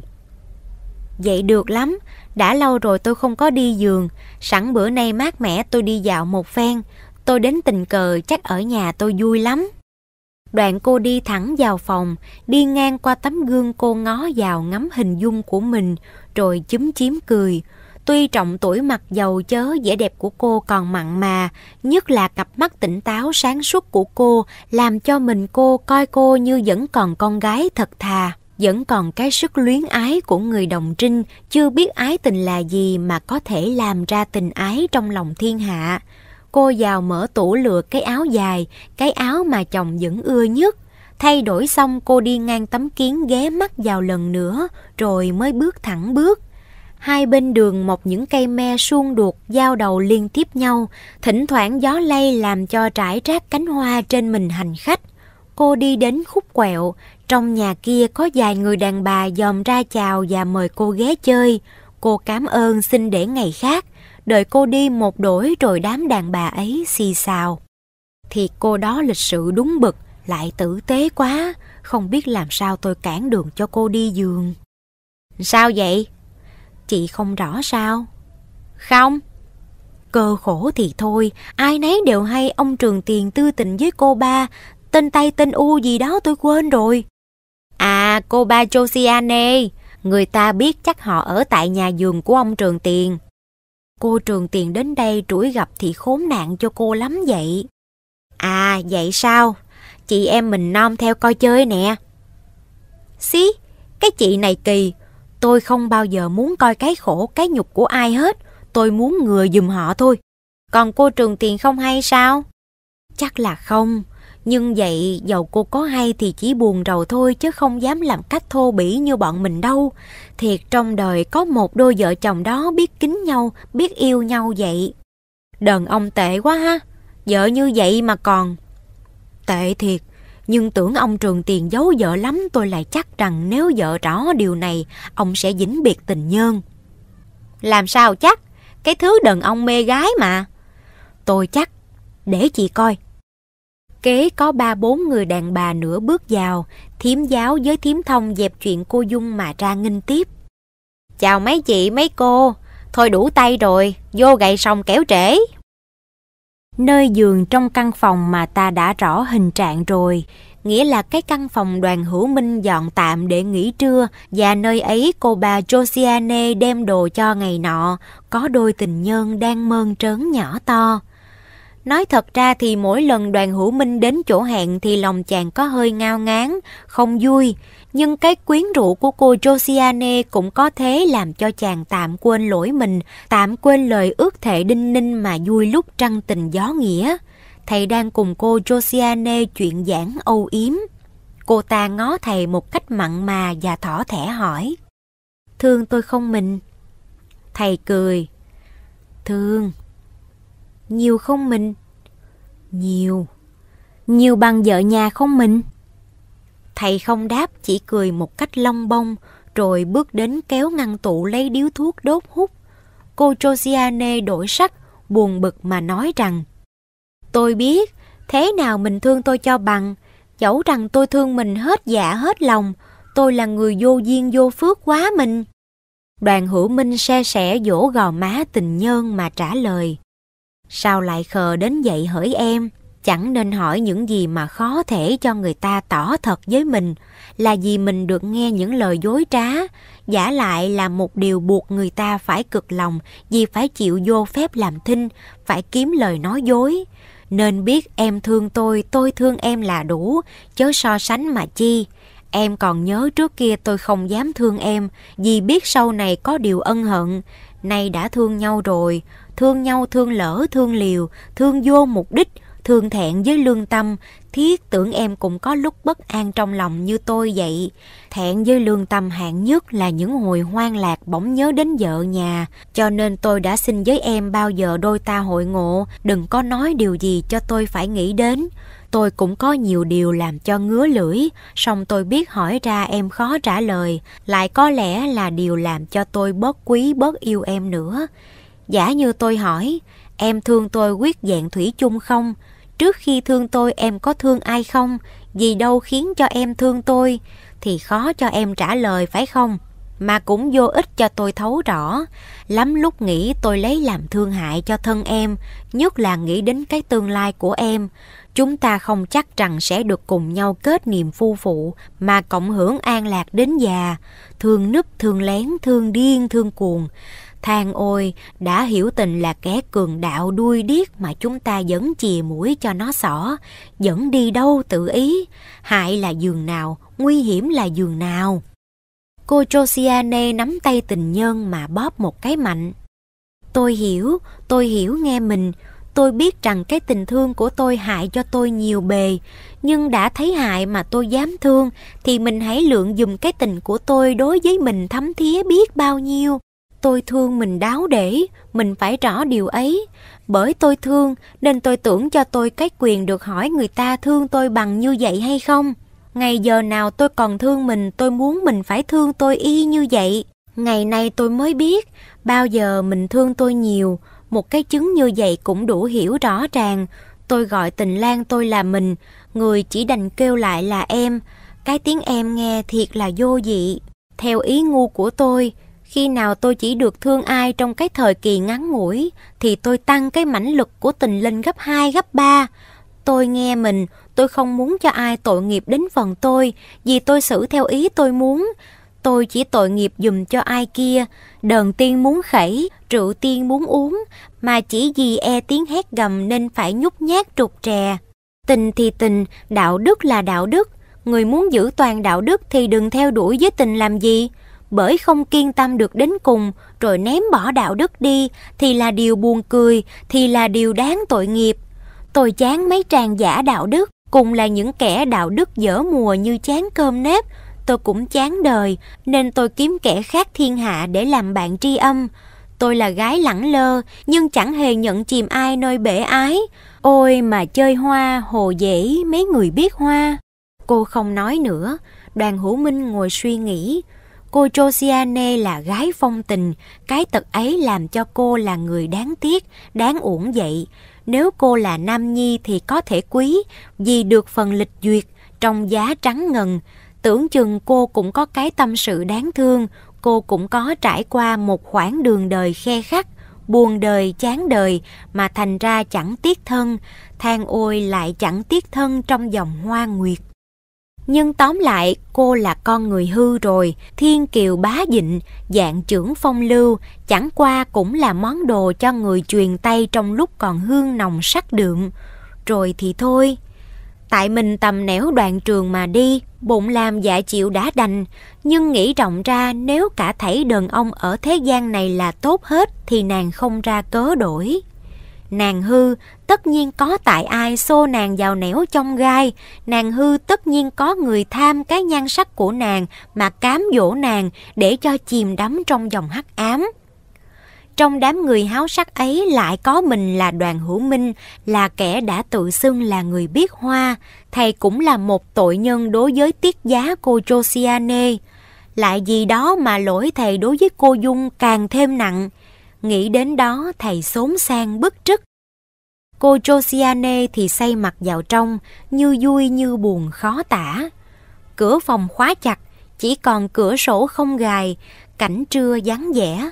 Thình lình cô Josiane mở bừng mắt ra, rồi dội vàng kéo mình đắp ngực lại, nét mặt ám xanh. Cô thấy gì vậy?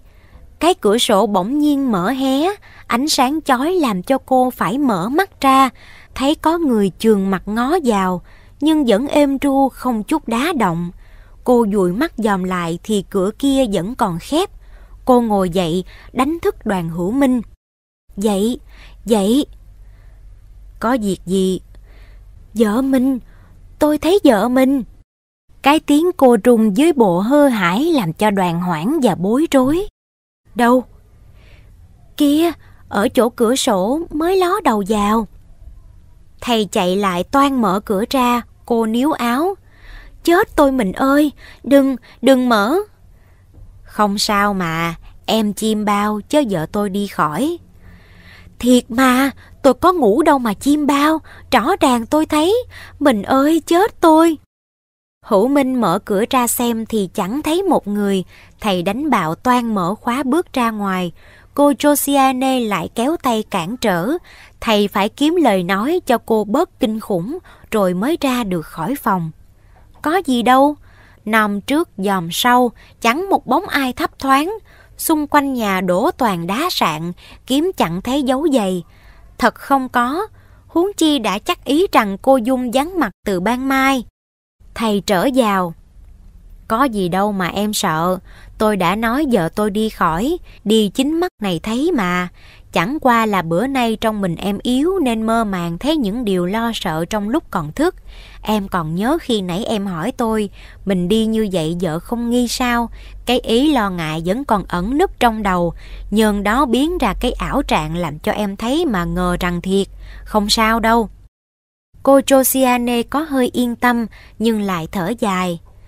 Hey, tôi sợ quá. Chiều lại đoàn trở về nhà, lấy làm lạ mà thấy đèn đốt sáng choang, mấy cửa mở hoác, lại có nghe hát máy nữa. Ai? Cô Dung với thằng Sang đi khỏi, không lẽ tôi tớ ở nhà dám tự do, không lẽ có người thân thích nào? Thầy giàu, vừa ngó thấy vợ thì trong châu thân dường như xuống nhầm luồng điện. Vợ thầy không đi, chắc cô Dung đã thấy thầy với cô Josiane rồi. Chết nổi, rồi đây thầy biết bao nhiêu xấu hổ với vợ hiền, rồi đây thầy có lời chi mà tỏ cho vợ tin rằng thầy vẫn yêu vợ, vẫn một lòng thủy chung như nhất. Cô Dung giả vờ không thấy sự bối rối ấy, bước lại tiếp chồng và chúm chím cười. Mình mới đi về, tôi giới thiệu với mình cô Năm đây vốn bạn đồng môn của tôi ngày xưa. Thầy cúi đầu chào khách, cô Dung tiếp. Ba với má mất đi Sài Gòn nên tôi không qua. Tôi cho phép thằng Sang đi với chị hai. Hồi sớm mơi này chỉ đi lên đó đặng đón hai bác. Rồi thằng Sang sẽ về với ba má luôn thể. Tôi ở lại may quá. Nếu đi thì đã không được hân hạnh gặp cô Năm đây rồi. Thầy ngồi tiếp dây lâu rồi vào trong tắm rửa ăn cơm. Thầy hỏi nhỏ người lão bọc. Này, chú Tư, người khách đàn bà ấy đến đây hồi nào? Bẩm chừng đổ lối 3 giờ rưỡi 4 giờ. Người cho vợ tôi hay trước mà đón rước không? Chắc không, bởi hồi trưa cô tính đi giường đặng chiều về với ông, té ra cô gặp bạn cũ nên trở lại. Chà, vợ tôi bữa nay sao giỏi vậy? Chú có nghe nói má thằng Sang đi đến đâu mà trở về không? Bẩm tôi có hỏi, cô tôi có nói đi vừa khỏi nhà thiếm giáo hai thì trở lại. Theo lời lão bọc thì cô Dung không có đến giường, cô thấy chồng về lại tiếp trước một cách tự nhiên, cô không lộ một vẻ nào buồn, vậy là cái sự thấy của cô Josiane chẳng qua là cái ảo tưởng. Chương 9 Ăn nói làm sao bây giờ? Tội nghiệp cô Josiane, nhưng mà đã trót tháng trường, cô Ba Dung chẳng chung khối với chồng, lấy cớ rằng trong mình chẳng an, cần phải tịnh dưỡng. Nét mặt nàng kém tươi, càng ngày càng rầu héo, hai mắt có hơi hóm vô, môi khô, miệng biến cười, có cười cũng như hoa ráng nở mùa hạ. Cô buồn, cảnh gia đình bấy giờ cũng kém vẻ vui, đến bữa ăn lặng lẽ như tờ. Hai vợ chồng ít bàn luận với nhau, phần nhiều ngày giờ là nàng ở trong phòng, thầy thì xem dường như bận việc. Ai cũng thấy cái vẻ bản lãng của nhau, ai cũng nặng nặng trong lòng. Thét rồi dường như muốn tránh mặt nhau, đặng tìm nơi quạnh quẻ mà để cho sầu tuôn lai láng. Nếu chẳng có cái vui nào đầm ấm bằng cái vui ở gia đình, thì cũng không có cái buồn nào bực bội bằng cái buồn ở gia đình. Vì đâu, tại ai, đoàn hữu minh có thấu cho chăng? Đoàn hữu minh có biết rằng vợ đã thấu cái lỗi của mình chăng? Cái thấy của tình nhân thầy không phải là ảo trạng đâu, quả thật Vợ thấy, vợ thầy thấy người mình yêu kính trọn đời, ngửa nghiêng giữa trần ông lơi bướm lã, não nồng thay. Giết nhau bằng cái lưu cầu, giết nhau bằng cái âu sầu đọc chưa? Cô rầu vì cô cạn xét hết rồi, muốn nguôi nào biết phương chi. Cô hiểu, trai năm thê bảy thiếp, gái chính chuyên một chồng là cái tục thuở nay ở nước mình giàu xấu, tốt cũng không chi lạ. Chẳng phải nội cái trời nam này là vậy, khắp trên mặt đất, nếu ở nước nào phong tục cấm cưới hầu cưới lẻ, thì đàn ông họ lại lén lút trăng hoa. Có người dám phí cả tiền ngàn bạc muôn mà mua cái hoa đã tan tác giữa đường mà nâng niu chút phấn thừa hương thải. Tài nào cấm ngăn cái bọn đàn ông, huống chi đàn bà ta đã nghe câu chồng chúa vợ tôi thì phải xét hiểu quyền chồng phận vợ. Vì cái tệ tục cổ lai nên đàn bà phải chịu, người trai muốn được vợ, trước phải tốn công, hao của, vì công ấy mà xem ra cưới vợ, bề ngoài nói rằng kết bạn, chớ kỳ trung là mua một người vừa ý để lợi dụng mà thôi. Vì vậy mà buộc cái chữ tùng cho phụ nhân, chữ tùng đủ các phương diện. Mua được món này, tất có quyền mua món khác, Huống nữa là Chúa, Chúa muốn dùng mấy tôi cũng đặng còn tôi chẳng phép hai lòng. Chồng trung tính ấy là phước, có đầy đọa cũng phần trong nhờ đục chịu. Chồng tự do hành động, quý hồ lo sao cho vợ no con ấm là đủ, chừng nào để cho thiếu kém khốn nạn mới trách được. Đoàn hữu minh là chồng được lắm, cách đối đại của thầy không có chi cho vợ trách, con phiền. Nếu thầy có ngoại tình, chẳng qua là một công việc hữu hạn đó thôi. Đàn ông như chim trong trời rộng, cá trong biển sâu, người nội trợ phải tùng quyền kia, có thế nào khuấy rối cái lạc thú của chồng, cho hay cái lạc thú ấy khéo giữ thì không nhiễu hại đến gia đình hạnh phúc. Thật đoàn hữu minh không dạy cho đến mê sa nhan sắc mà bỏ phế việc nhà. Cô Dung nghĩ rồi mấy điều ấy, song vẫn buồn hoài, tại làm sao? Hay là cô ghen? Người như cô không có ghen. Thuở giờ thiên hạ hằng nói, người đàn bà nào máu trắng mới không ghen. Thế là lầm, thế là không hiểu nghĩa tiếng ghen vậy. Ghen là gì? Ghen tức là ganh. Nói chung, kẻ nào thấy ai hơn mình mà đem lòng ghét buồn là ganh, ném về tình kêu là ghen đó. So sánh thì cô Dung 10, cô Josiane kém 5-6. Cô Dung đã mặn mà nhan sắc, đủ cả nữ công nữ hạnh, lại thêm có học thức. Cô Josiane cũng đẹp thật, nhưng vẫn là cái trái không ruột, cái hoa không hương, lại trải qua bụi trần dùi lấp thì còn quý gì. Cho nên, đối với người lạc bùng nê kia, cô Dung chỉ thương hại mà thôi. Phản lại nếu cô dở mà thấy cao thượng, tài trí hơn cô, thì cô đem lòng kính phục, muốn ráng sao cho được bằng Cô thường nói, ghen là tánh xấu hạng nhất, nó là cái dấu hư tệ của con người, lại làm cho con người hư tệ thêm mãi. Phải lắm vậy, mình hư tệ thế nào người mới giảm sự yêu chuộng mình để yêu chuộng kẻ khác. Người đã yêu chuộng kẻ khác mà mình ghen thì đã làm cho sự yêu chuộng kia càng tăng lên, còn cái gớm ghét thì trở lại mình. Nếu có hạng đàn bà xét xa hiểu rộng như vậy thì tiếng nói bao hàm rằng ghen là bệnh chung của phụ nữ có phải lầm chăng? Ai nói rằng cô Dung ghen tức là không hiểu, không hiểu cái tánh nhân từ, cái độ lượng trọng rãi của người cao thượng. Vợ chồng như hầu bạn, nhưng cô chung thủy hơn, người đối với người hết đạo, người đối với mình sai dạ trung thành, chán ngán thật, não nề thật, mà cũng buồn cười thật. Cười cho mình là sống đa tình, cười cho trong thế gian này người ta biết vui vì tình, biết muốn sống vì tình, mà đành hại kẻ khác phải thất tình, chịu bi ai thảm thiết. Chẳng hay vì cái luồng lõi tưng bợ, chẳng vì cách cưỡng bách, hăm dọa cho người ta yêu quý mình. Chi chi, cái tình như vậy có thú gì nào? Cho hay ta đã thấy cái nghĩa sống của cô Dung là thương, cái lòng thương của cô rất quan hệ cho đời cô, không được thương như ý là kiếp sanh tồn không trọn đời, còn thương mà bị sự bạc bẽo của ai là nuốt nhầm thuốc độc, thuốc độc gớm ghê vừa làm cho tiều tụy hình dốc, vừa hại cho điên đảo linh hồn. Cô đã hiểu trước cho mình như vậy, nên lúc chưa trao tơ kết tóc, cô cẩn thận lọc lừa không ham giàu sang, không ham tước lộc, cô dùng hết sự sáng suốt của cặp mắt xanh mà tìm cho đặng người biết yêu cô, trọng giá trị cô, hạp tánh tình cô. Cho cô hết lòng yêu lại không miễn cưỡng, không ăn năn, không uổng cái hình dốc trong ngọc trắng ngà, bấy lâu gìn giữ. Bán thân cho người đàn ông là sự hèn hạ, đau đớn. Đám cưới cô không có lễ lạc, thành vợ chồng rồi, đoàn hữu minh ở nhà cha mẹ cô đặng mọi lẽ yên vui.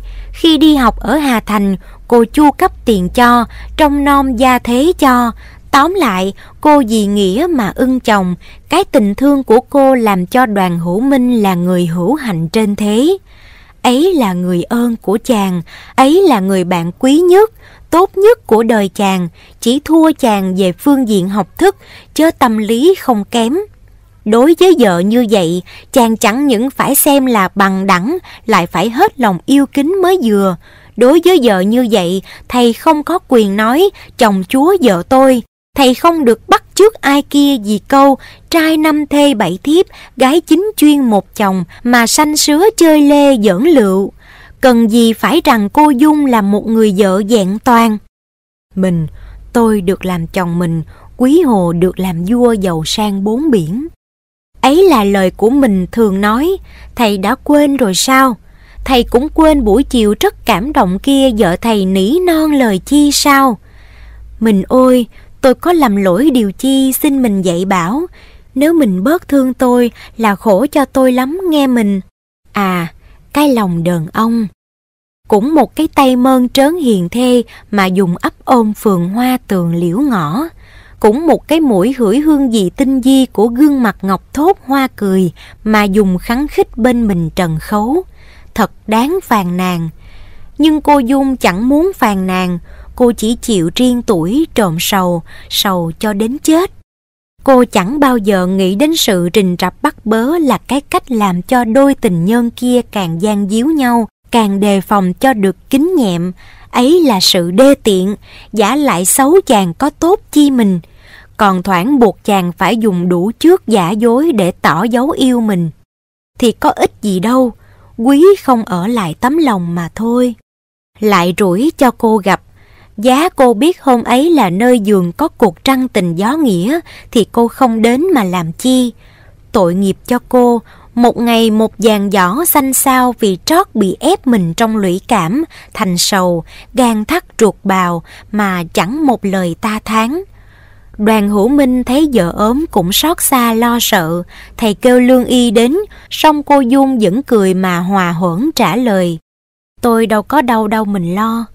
Chẳng qua là mấy bữa trầy biến ngủ biến ăn, nên trong mình có hơi yếu, chỉ ít bữa thì hết chứ gì. Song cô vẫn ốm hoài, ăn rồi giả dưỡi, biến đứng biến ngồi, cứ nằm thiêm thiếp nơi tịnh phòng như người liệt nhược.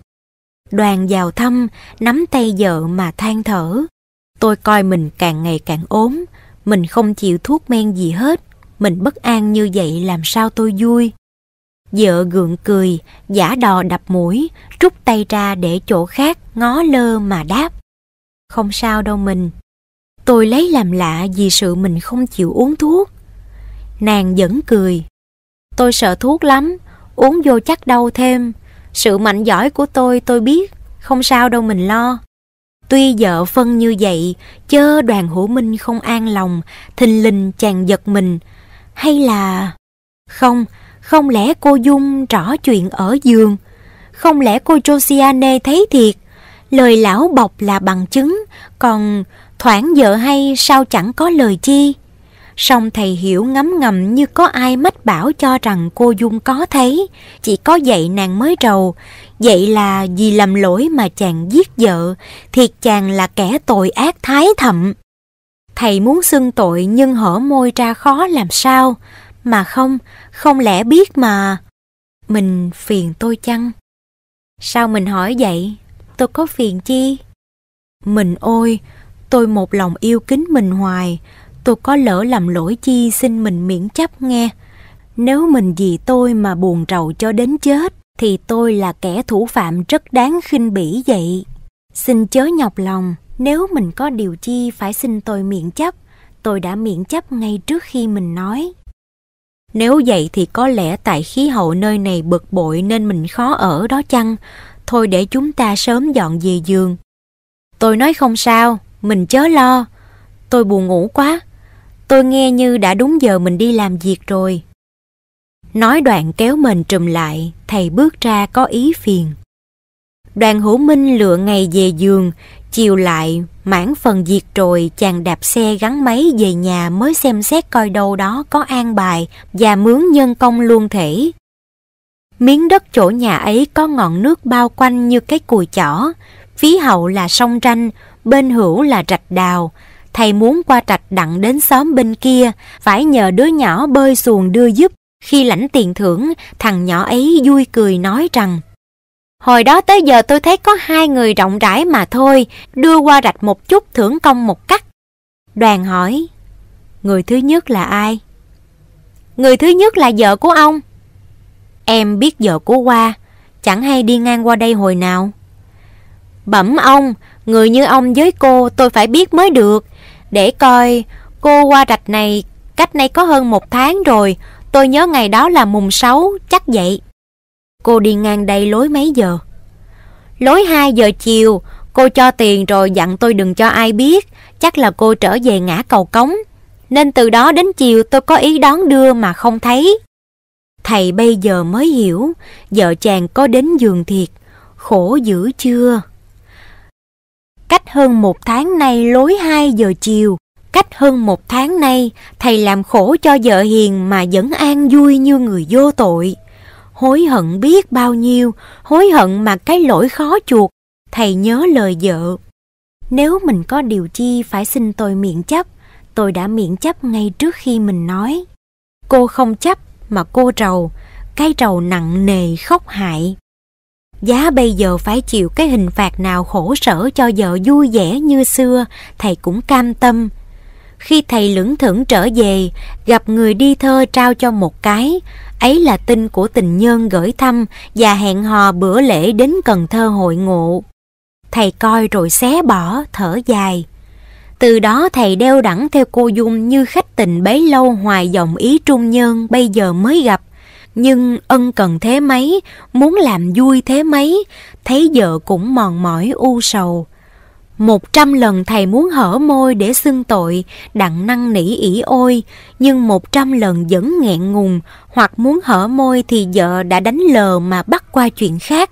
Thành ra lúc gần nhau, vợ chồng chỉ nói chuyện trẻ ranh vô dị, mà dán nhau thì lại thèm cho được gần. Đã hai tháng rồi, chàng quạnh hiu gối chiếc, thiếp lạnh lẽo nệm nghiêng, ở cùng một nhà, ăn cùng một mâm, mà dí bằng ngàn trùng xa cách. Phải, thầy là con người đê tiện, vợ có khinh bị gớm ghê cũng chẳng phép phiền hà. Tội nghiệp cho cô, đêm thao thức năm canh lụy sầu ướt gối, ngồi dựa cửa trong cảnh trăng thanh gió mát mà nhớ những hồi dai sánh dai, lững thững nơi nào. Cô khóc duyên, khóc nợ, khóc đời. Cô thấy rằng bao giờ cô còn sống ở thế gian là chỉ giam thân trong dòng thống khổ. Nằm thiêu thiểu thì là chim bao dẫn, Cô thấy hoặc những cảnh vui dày thuở trước, hoặc những điều bạc ác của chồng, lắm khi bấn loạn đổ mồ hôi, khóc hoảng, cười mê, ngồi phát dậy vỗ tay lên trán. Trời ơi, nếu tôi bạc phước thì cho tôi sớm lìa trần thế, đừng để tôi điên cuồng mà làm khổ cho chồng con. Nói đến tiếng con, nàng nhớ thằng Sang, nhớ xót xa, nhớ lạ thường, muốn qua phòng con, hung tráng con cho thỏa. Cô nằm xuống khóc, hết khóc thì những trò mộng mị ở đâu lại tuôn ra cho rối rắm tinh thần. Cô thấy mình chết rồi. Cô Josiane về chủ trương gia thế, thằng Sang đầu đội nón tan, bận quần cũ, áo giải đi đến trường. Chúng bạn ăn bánh, nó thấy thèm, ẩn vô hốc mà lau nước mắt. tan học về nó đi thất thơ sâu chót, bạn ác tâm đứa chửi đứa thôi. Tới nhà mẹ ghẻ gắt gao, cho dùng chén đá đũa tre, ngồi trên gián bẩn thỉu mà ăn cá thừa cơm nguội. Rủi nó làm rớt bể chén, dì ghẻ tưng bừng đánh chửi, nó chạy trốn, bà nó trượt theo bắt, cô nằm dưới mồ ngó thấy hết, tức vì không biết làm sao cứu khổ cho con. Chồng cô thấy cô, giả bộ thương yêu lại gần mơn trớn. Ngay lúc ấy đoàn hữu minh bên kia cũng xốn sang trăn trở, trách mình thương vợ nhớ những hồi. Thầy trỗi dậy nhẹ bước qua phòng hiền thê, nhìn cô ngủ coi như người đã chết. Thầy thương hết sức, sẽ lén nằm kề tay gác qua mình. Chẳng dè cô dãy dụa, mồ hôi dầm về ngồi dậy, ngó chồng hơ hải, cô chấp tay năn nỉ. Tội nghiệp con mình ôi, còn thân thể của tôi hôi tanh, mình đừng rờ đến. Thầy sững sờ không hiểu gì cả, cô giáo giác ngó quanh lần lần định tĩnh lại hỏi chồng. Mình qua đây hồi nào, tôi có nói xàm điều chi không? Có, sao mình thốt ra những lời ghê gớm như vậy? L lời chi đâu? Tội nghiệp con tôi, thân tôi hôi tanh. Cô cười. À, đó là tại tôi xấu chứng giật mình chứ không có chi. Tại nghe tôi mớ nên mình qua phải không? Không, mình mới nói sẵn sau khi tôi vừa nằm kế, xa nhau khổ quá mình ôi. Chồng vừa nói vừa sáp lại gần, toàn kéo vợ vào mình, vuốt ve an ủi. Nhưng cô Dung thất sắc, giang ra, hai tay kéo lại trên ngực như tuồng che chở lấy thân mà năn nỉ, giọng tha thiết não nùng. Tội nghiệp, tội nghiệp tôi mình, mình lui ra không tôi chết mất. Đoàn hữu minh ngẹn ngào, than ôi vợ chồng trước kia gian díu đường bao, khắng khích giường bao, ngày nay như thế này khổ tâm biết mấy. Thầy hiểu hết rồi. Triếu triếu lui ra, nhẹ nhẹ đóng cửa phòng, trở về nằm dài, tứ chi rủ triệt, xót xa phần vợ, bức trước nổi mình, xa xa trống canh hết trở rồi sang, như hối thúc thầy phải sớm lo làm sao, liệu làm sao mà cổi thảm cho bạn vàng, vì một ngày vợ chịu khổ là một thêm nặng lỗi của chồng, là một bước của cô lướt đến gần cái chết. Chết vì tình nặng nghĩa dài, tình nặng nghĩa dài đối với kẻ phi ân bội nghĩa. Chương 10 Nghĩa cũ tình xưa Gia quyến đoàn hữu minh đã dời ở nơi giường. Thầy có viết thơ tuyệt giao với cô Josiane. Cô ấy hồi âm tỏ lời tiếc thương và cho hay rằng mình mới kết nghĩa châu trần với một ông chủ hát xiết. Cái tình của hai người có bao nhiêu đó mà thôi, mà cái khổ của cô Dung lại vô giới hạn săn sóc cách nào, ân cần thế nào, đoàn hữu minh vẫn thấy vợ ủ dột, héo hon hoài. Thầy rầu, xem kỹ lại thì thấy thầy có ốm, nét mặt kém tươi, chỉ nghĩ rằng hỗn rầy vì sự đau đớn linh hồn rỉa dậy. Hôm kia mặt trời đã lặn rồi, cảnh vật lần khuất trong cái ánh sáng mờ mờ, còn một chút nữa là cái màn tối tăm của ban đêm nó che lấp đi mất. Đoàn hữu minh thấy vợ còn đứng tần ngần ở giường hoa, bèn lại gần hỏi. Bữa nay thứ bông nào nở đẹp nhất? Cô Dung giật mình, lộ vẻ ái ngại. Bữa nào tôi cũng thấy có một thứ hoa hường là đẹp mãi thôi. Hồi chiều mình ăn cơm ngon không? Ngon. Có uống thuốc chưa? Rồi. Mình... Thầy muốn nói điều chi lại nín đi, mà vợ cũng giả như không nghe cái tiếng gọi sâu ấy. Hai người đứng im như hình gỗ, giây lát cô Dung nghe chồng thở dài, bèn nói và toan trở gót. Thôi vô. Chẳng dè đoàn hữu minh nắm lấy giạt áo năn nỉ. Khoan đã mình, hãy ngồi đây với tôi một chút. Nàng cùng ngồi với chàng trên cái kệ, im liềm, chỉ nghe hơi thở của đoàn hữu minh, cái hơi thở tỏ rằng trong tâm có sự cảm giác nôn nao mạnh mẽ. Thầy nắm tay vợ, tay lạnh như đồng, tay mấy tháng trường mới được trớ đến mà không thối thác. Mình lạnh sao? Lạnh, thôi vô. Khoan, tội nghiệp mà mình. Tôi lỗi với mình, lỗi nặng vô cùng. Tôi biết rằng dầu tôi phải đau đớn, phải khổ sở bao nhiêu cũng không chuột đặng. Cái lỗi tôi, Mình đã biết rồi, biết mà làm thinh, để ôm đau khổ dù cho đến chết. Mình chết, tôi sống được sao mình? Mình cho phép tôi hôn bàn tay mình nghe, đặng rồi tôi xưng tội. Thầy sụp quỳ gối, úp mặt lên tay vợ. Cô Dung nghe trên bàn tay mình có nước mắt chảy, bất giác cũng tầm tả châu rơi. Thôi mình ôi, thiệt vậy tôi đã thấy, tôi biết hết rồi. Mình ngồi dậy đi. Tôi thề quên lỗi của mình mà cũng không hề bao giờ chịu nghe mình nhắc lại với tôi rằng mình có lỗi đó nữa. Tôi sống với mình.